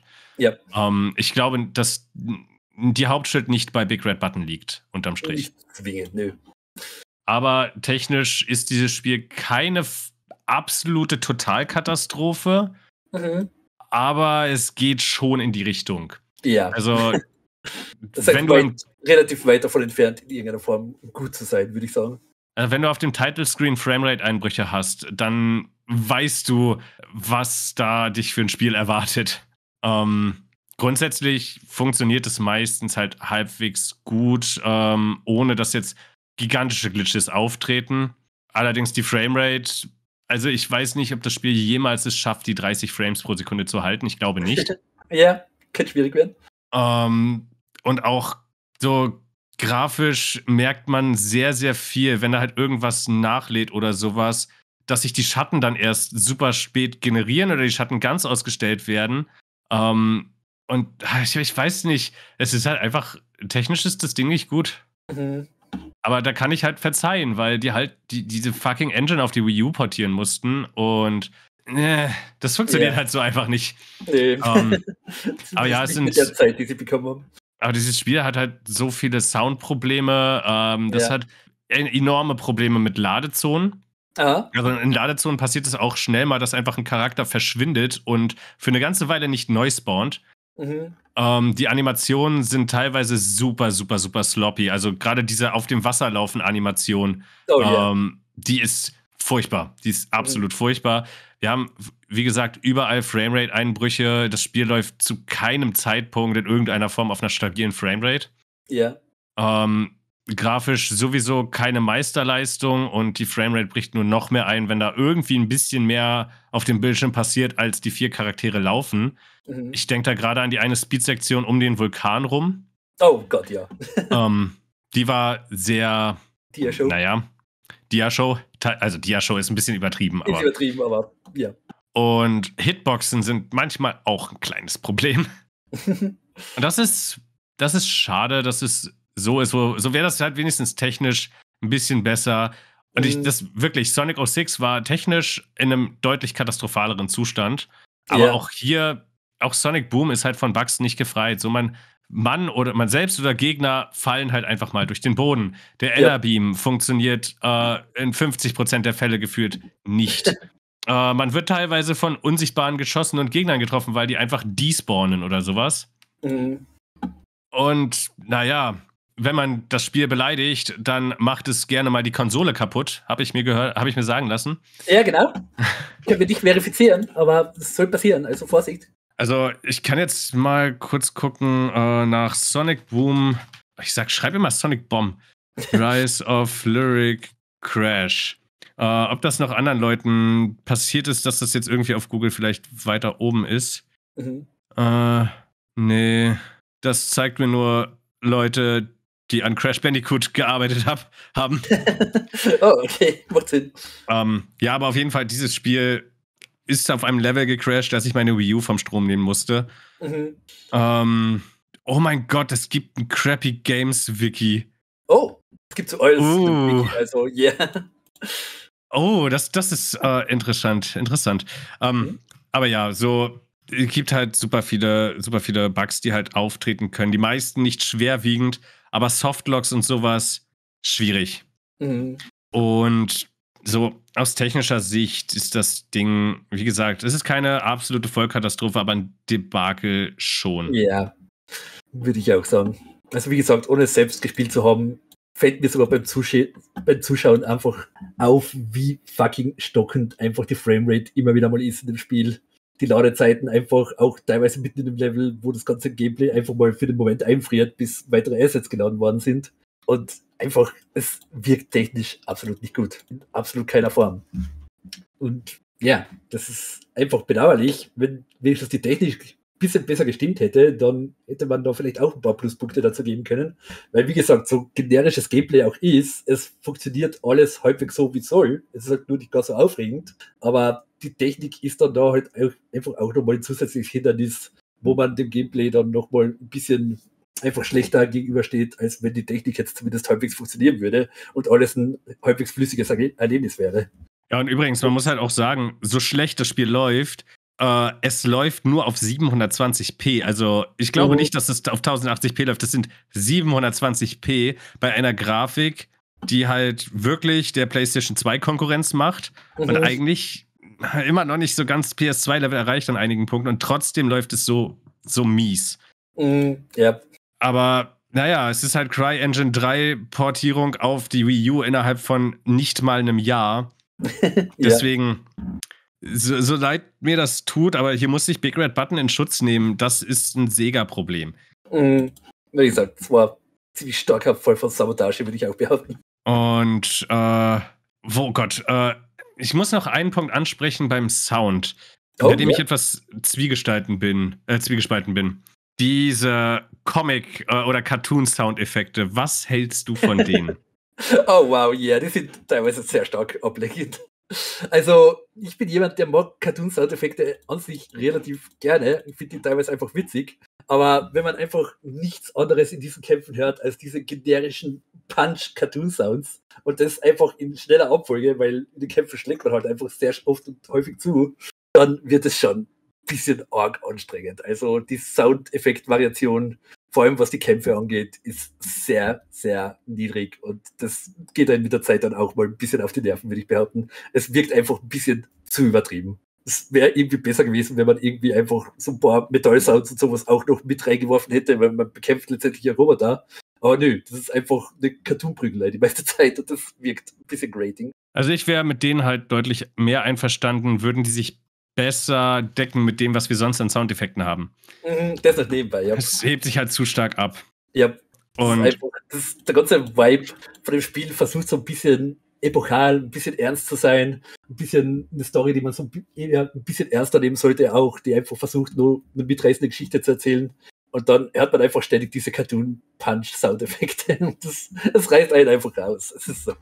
Um, ähm, und ja, im Zuge von Soundeffekten müssen wir leider, leider auch die anderen Charaktere ansprechen, Aha. die fucking niemals auch nur eine Sekunde lang die Fresse halten können. Ja, Voicelines und Voicelines und Voicelines in einer Folge. Also das ist jetzt ein Homing Shot mal 1000. Ja, man hat keine ruhige Sekunde in dem Spiel. Es ist echt sehr anstrengend mit der Zeit. Vor allem, wenn sich die ganzen Voicelines dann einfach beginnen zu wiederholen weil irgendwann hat man halt alles gehört, was die Charaktere sagen, wenn man jetzt eine Speed-Passage hat oder wenn man jetzt gegen andere Roboter kämpft. Irgendwann wiederholt sich das dann einfach sehr stark und man hört ständig die gleichen nervigen Sätze in Dauerschleife. meine Güte. Ja, und das ist halt alles irgendwie so im, im Gesamtpaket. Ach, nee. Mhm. Nee, nee, nee, nee, nee, nee, nee, nee, einfach nee. Ja, nee. Es ist einfach nicht angenehm zu spielen, eben wegen solcher Aspekte. Also, ich, ich habe jetzt übrigens diesen äh, Crappy Games Fanen Wiki offen mhm. und lese hier nochmal ein bisschen und die bestätigen, äh, da wird auch nochmal bestätigt, so, hey, äh, das sollte für PlayStation 4, Xbox One und äh, Windows erscheinen. Mhm. Macht Sinn. Und dann musste halt die CryEngine 3 rüberportiert werden auf äh, die Wii U. Und die Wii U hat aber die CryEngine 3 eben nicht, äh, nicht supported. Und ja, Graf Graphics were downgraded, no time to fix large number of glitches. Uh, blah blah blah. A lot of content and gameplay features had to be cut as well, including the four-player online co-op system. Interessant, dass das geplant war, das wusste ich nicht. Mhm, ja. Uh, und dass auf der Packung hinten drauf steht, es hat Wii U Pro Controller Support, den es nicht hat, aber ich glaube, das hat es im Zwei-Player-Modus. Oh, okay, ja. Und ja, das ist uh, haben wir noch andere Sachen, über die wir sprechen können? Nicht direkt, glaube ich, nö. Also über was haben wir denn jetzt gesprochen? Wir haben über die Technik gesprochen, wir haben über das Gameplay gesprochen, wir haben über die äh, Grafik gesprochen, über Sound und Sounddesign, ähm, über die Oberwelten haben wir gesprochen. Mhm. Ich meine, es gibt dann immer wieder im Spiel auch so kleine Minispielchen, die dann einfach ins Gameplay nochmal reingeworfen werden. Um ja, so die sind scheiße. Die sind alle die sind ziemlich alle scheiße ab. Man hat also, dieses, dieses, Boot dieses fucking Boot. Oh mein Gott, wie ich es hasse. Ja, und dann hat man auch noch eine Sektion eben unter Wasser, wo man jetzt irgendwie diese verfolgenden Guardian-Roboter abschießen muss. Und während man in einem U-Boot sitzt und man muss halt schauen, dass man die alle gut trifft und ihren Angriffen ausweicht, weil ansonsten kann man die ganze Sektion nochmal machen. Cool. Und ja, aber das sind einfach so, an sich ist es nett, dass sie da versuchen, so ein bisschen Abwechslung ins Gameplay reinzubringen mit so kleinen Minispielchen, die man da macht, aber die sind alle relativ schlecht designt und machen einfach keinen Spaß. Aber wir haben noch was. Ähm, also wir haben noch ein paar Sachen. Weil, wenn wir jetzt hier über Sonic Boom sprechen, mhm. müssen wir natürlich auch mal einen Blick auf die Character Redesigns werfen. Okay, ja. Also das haben wir halt noch, noch nie gemacht, glaube ich, in diesem Podcast. Deswegen lass uns das mal noch ganz kurz. Äh, ich habe noch zwei, drei andere Sachen, die, über die wir reden können. Mhm. Aber so die Character Redesigns, ja? die werden ja doch eher wenig gemocht. Wo ich eine Kontrameinung habe. Äh, Im Prinzip, ich mag alle der Redesigns inzwischen recht gerne. So, je nach Artwork sogar das von Knuckles. Mhm. Und ja, Sonic, oh nein, er hat blaue Arme, wie furchtbar. Oh mein Gott, David, tipp mal bitte leiser. Sorry. Hört er das? Ja, das hört man sehr laut. So als würdest du deine Tastatur neben das Mikro halten. Ähm, es steht so ein bisschen neben dem, also die Tastatur steht so ein bisschen neben dem Mikro, aber ja. Uh, auf jeden Fall, ja, Sonic blaue Arme, weiß ich nicht, hat was Sympathisches, haben wir im Sonic-Film auch, uh, mag ich ganz gerne. Amy's Redesign, ich mag jetzt die Klamotten nicht, aber ansonsten hat sie kein großes Redesign bekommen. Tails, finde ich, sieht sogar sehr cool aus. Knuckles habe ich mich dran gewöhnt. Mhm. Punkt. Uh, also, ist eine Gewöhnungssache, würde ich sagen, ja auch, ja. Knuckles ist sicher das umstrittenste Redesign, aber ich finde gerade in einem CGI-Setting sieht es echt gut aus. Ja. Jetzt so im okay. Spiel nicht so. Und Eggman, und da werde ich bei dir wahrscheinlich auf Granit stoßen, äh, finde ich mit äh, breiter Brust besser als mit breitem Bauch. Ganz ehrlich, ich würde dir doch nicht mal so stark widersprechen, weil ich liebe auch Eggmans Boom Design sehr, sehr stark. Weil das, das war einfach das Brillante, was sie mit Eggmans Design gemacht haben. Sie haben einfach ein Ei genommen, also so wie Eggman normalerweise aussieht, und es auf den Kopf gestellt. Und das mhm. finde ich einfach wirklich einen genialen Ansatz, um Eggmans Design einfach ein bisschen zu verändern, also ein bisschen eigenständig wirken zu lassen für die Serie, aber trotzdem noch ihn irgendwie größtenteils wie den alten Eggman wirken zu lassen. Und ich mag sein Boom-Design sein Boom-Design sehr, sehr gerne. Also ich kann da keine Kritik äußern. Es ist eines meiner Lieblingsdesigns für Eggman. Und auch wenn ich Modern Eggman jetzt irgendwie doch ein bisschen lieber habe, einfach aus Gewohnheitssache, Boom Eggman ist auch ein sehr großartiges Eggman-Design. Und ja, was sagst du zu den anderen Redesigns? Also für mich funktionieren die halt überraschend gut. Es geht, ja. Also, wie gesagt, bei Sonic, Tails und Amy sind die ganzen Änderungen einfach so gering, könnte man sagen, dass es irgendwie nicht den allergrößten Unterschied macht. Sie aber Sporttape, David, aber Sporttape. Sport ja.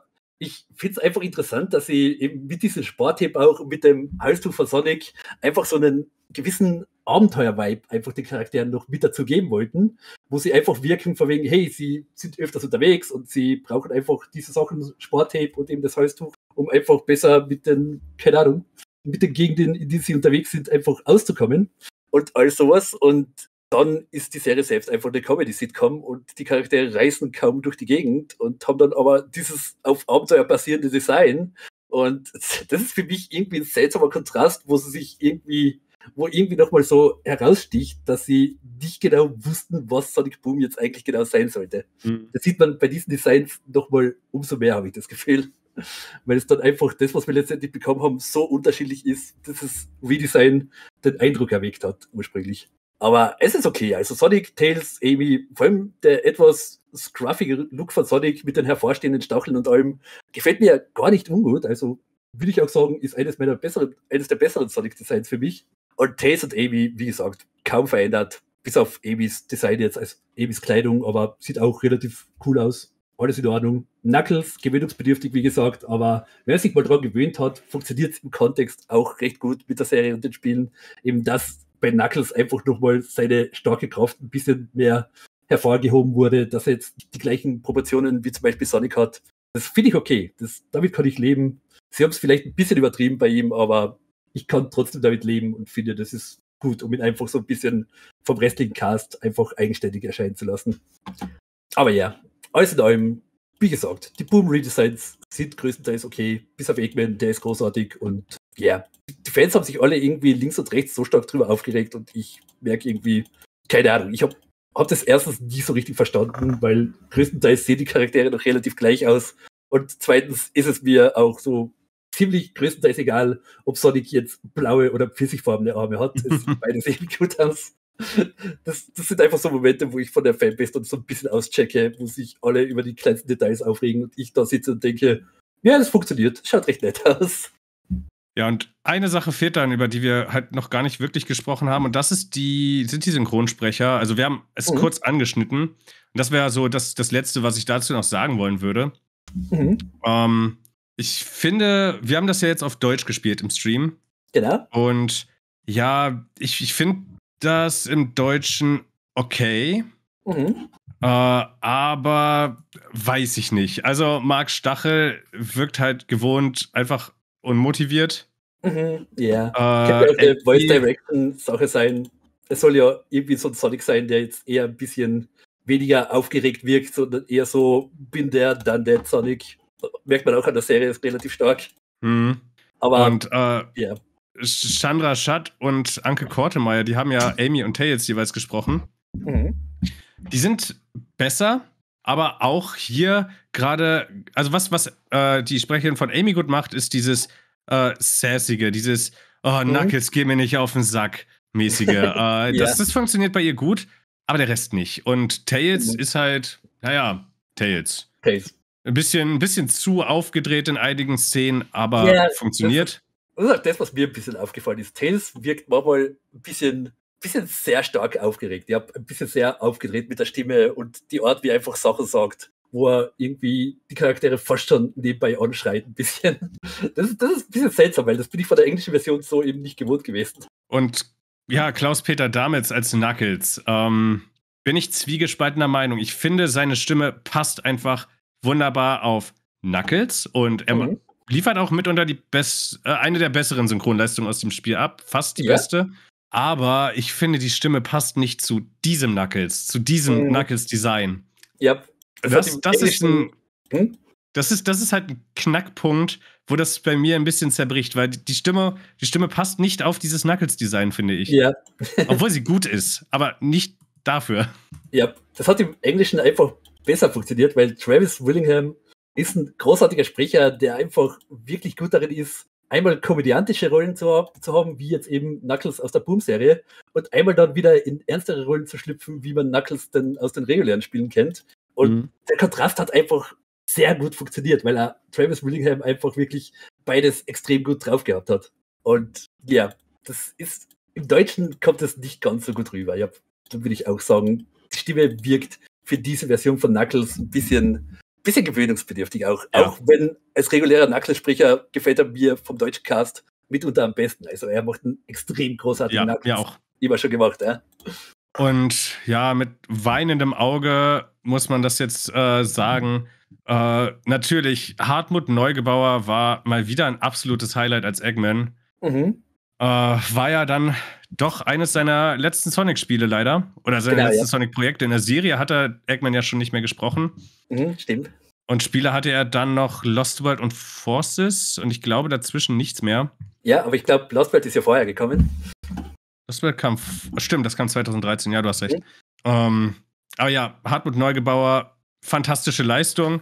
Sowohl mhm. diese doch sehr, sehr, sehr, Eggman ist gerade vollkommen durchgedreht Momente, äh, mhm. äh, in dem einen Bosskampf gegen ihn beispielsweise, ja. als auch dieses, ähm, er hat halt super Schiss vor Lyric und ja. ist halt sehr, sehr ängstlich Lyric gegenüber, so, oh ja, Meister, ja, Meister, ich mache es ja schon. Mhm. Ähm, also wirklich, was Hartmut Neugebauer da an einer, äh, an Facettenreichtum reingelegt hat, das ist schon ziemlich cool gewesen. Ja, war wirklich gut und natürlich wieder ein Highlight vom Synchroncast, ja.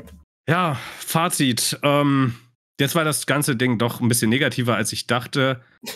ähm, aber ja, so Sonic Boom ist halt Wären jetzt so technische Probleme und sowas nicht, wäre Sonic Boom nicht gut. Dann wäre Sonic Boom halt mhm. absolute mhm.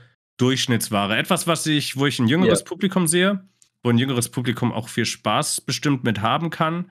Mhm. Äh, allerdings für so unser einer mit unseren, oh Gott, 30 Jahren, 31 ja, Jahren.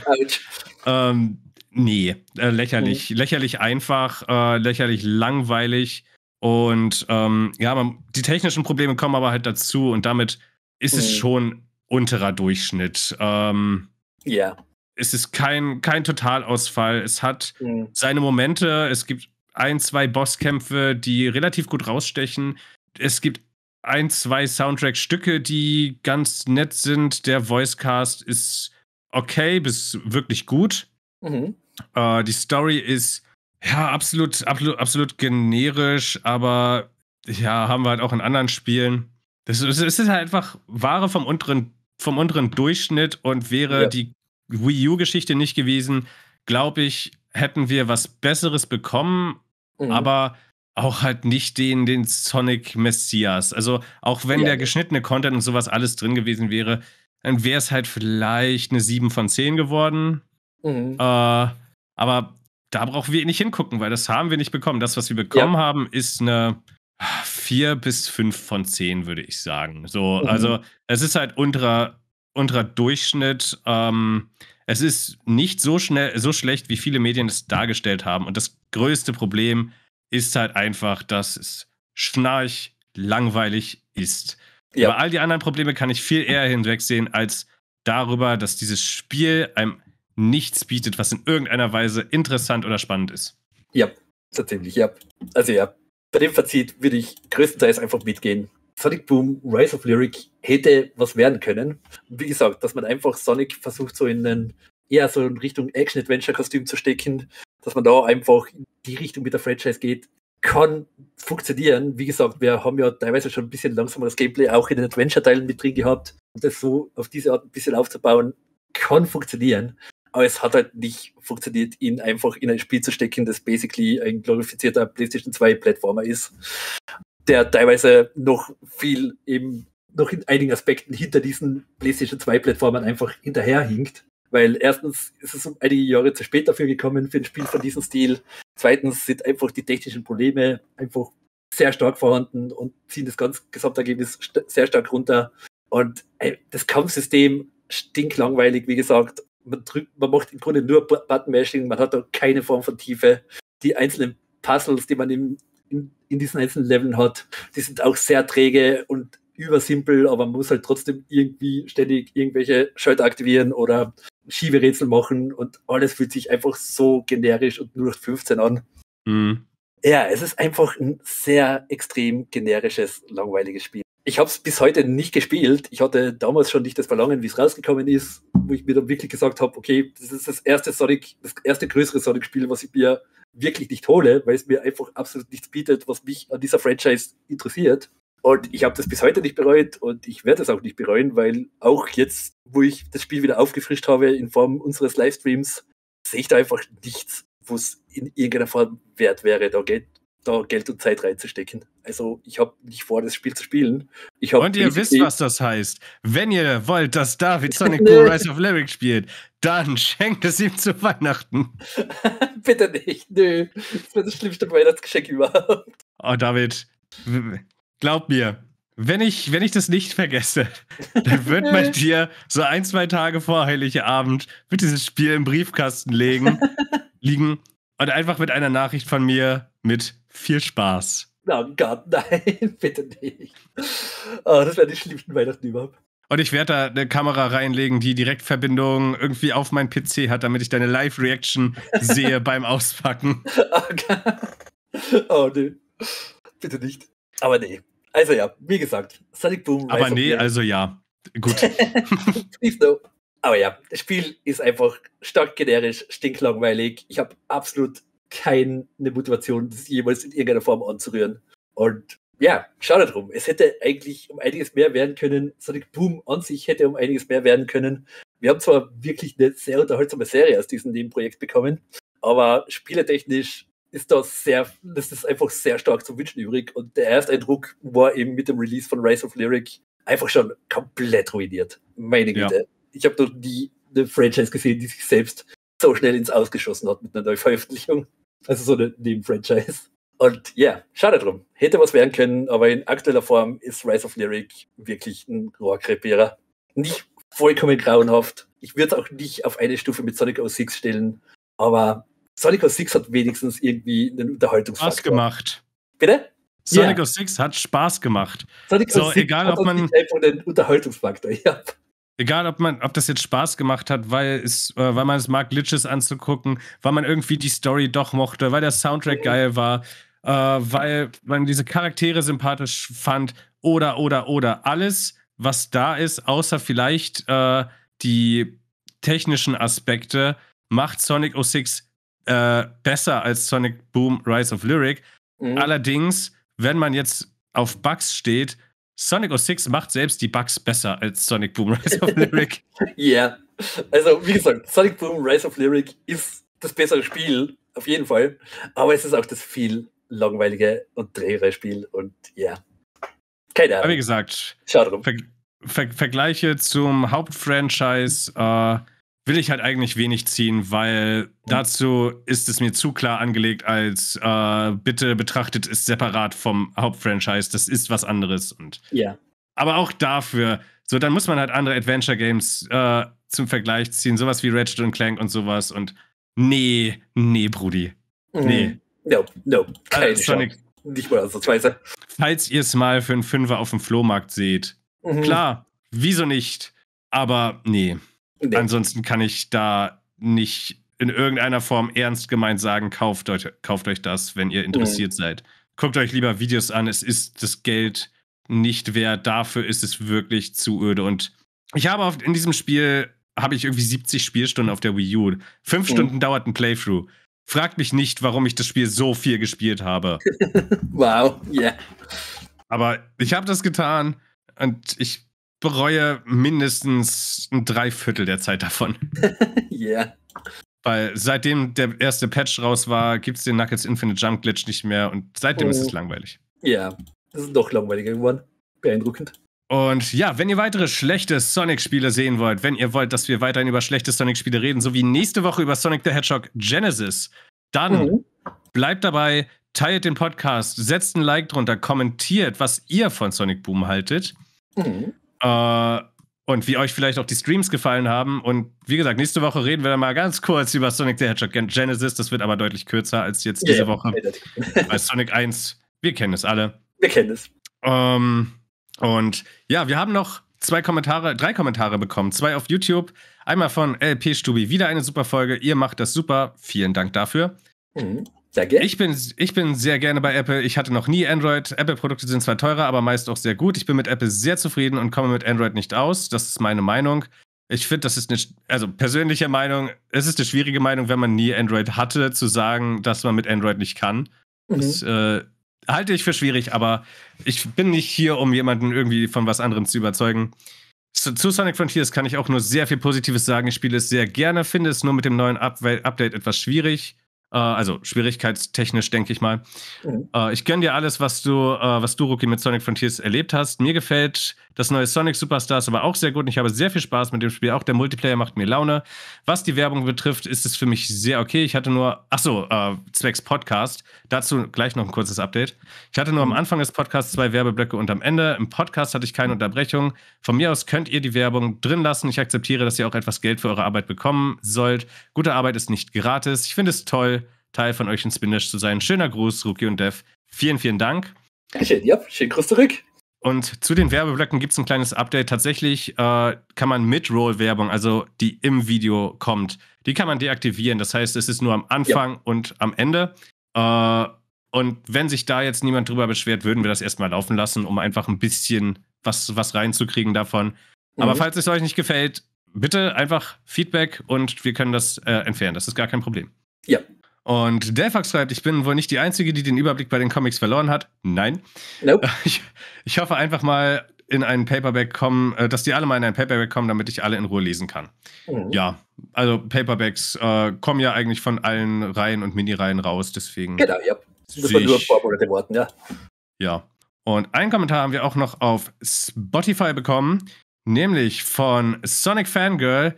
Die Cutscene ist so cool und einfach geil. Das spielt auf Sonic Prime an. Und ja, wir haben ja auch schon darüber geredet, dass uns die sehr gefallen hat.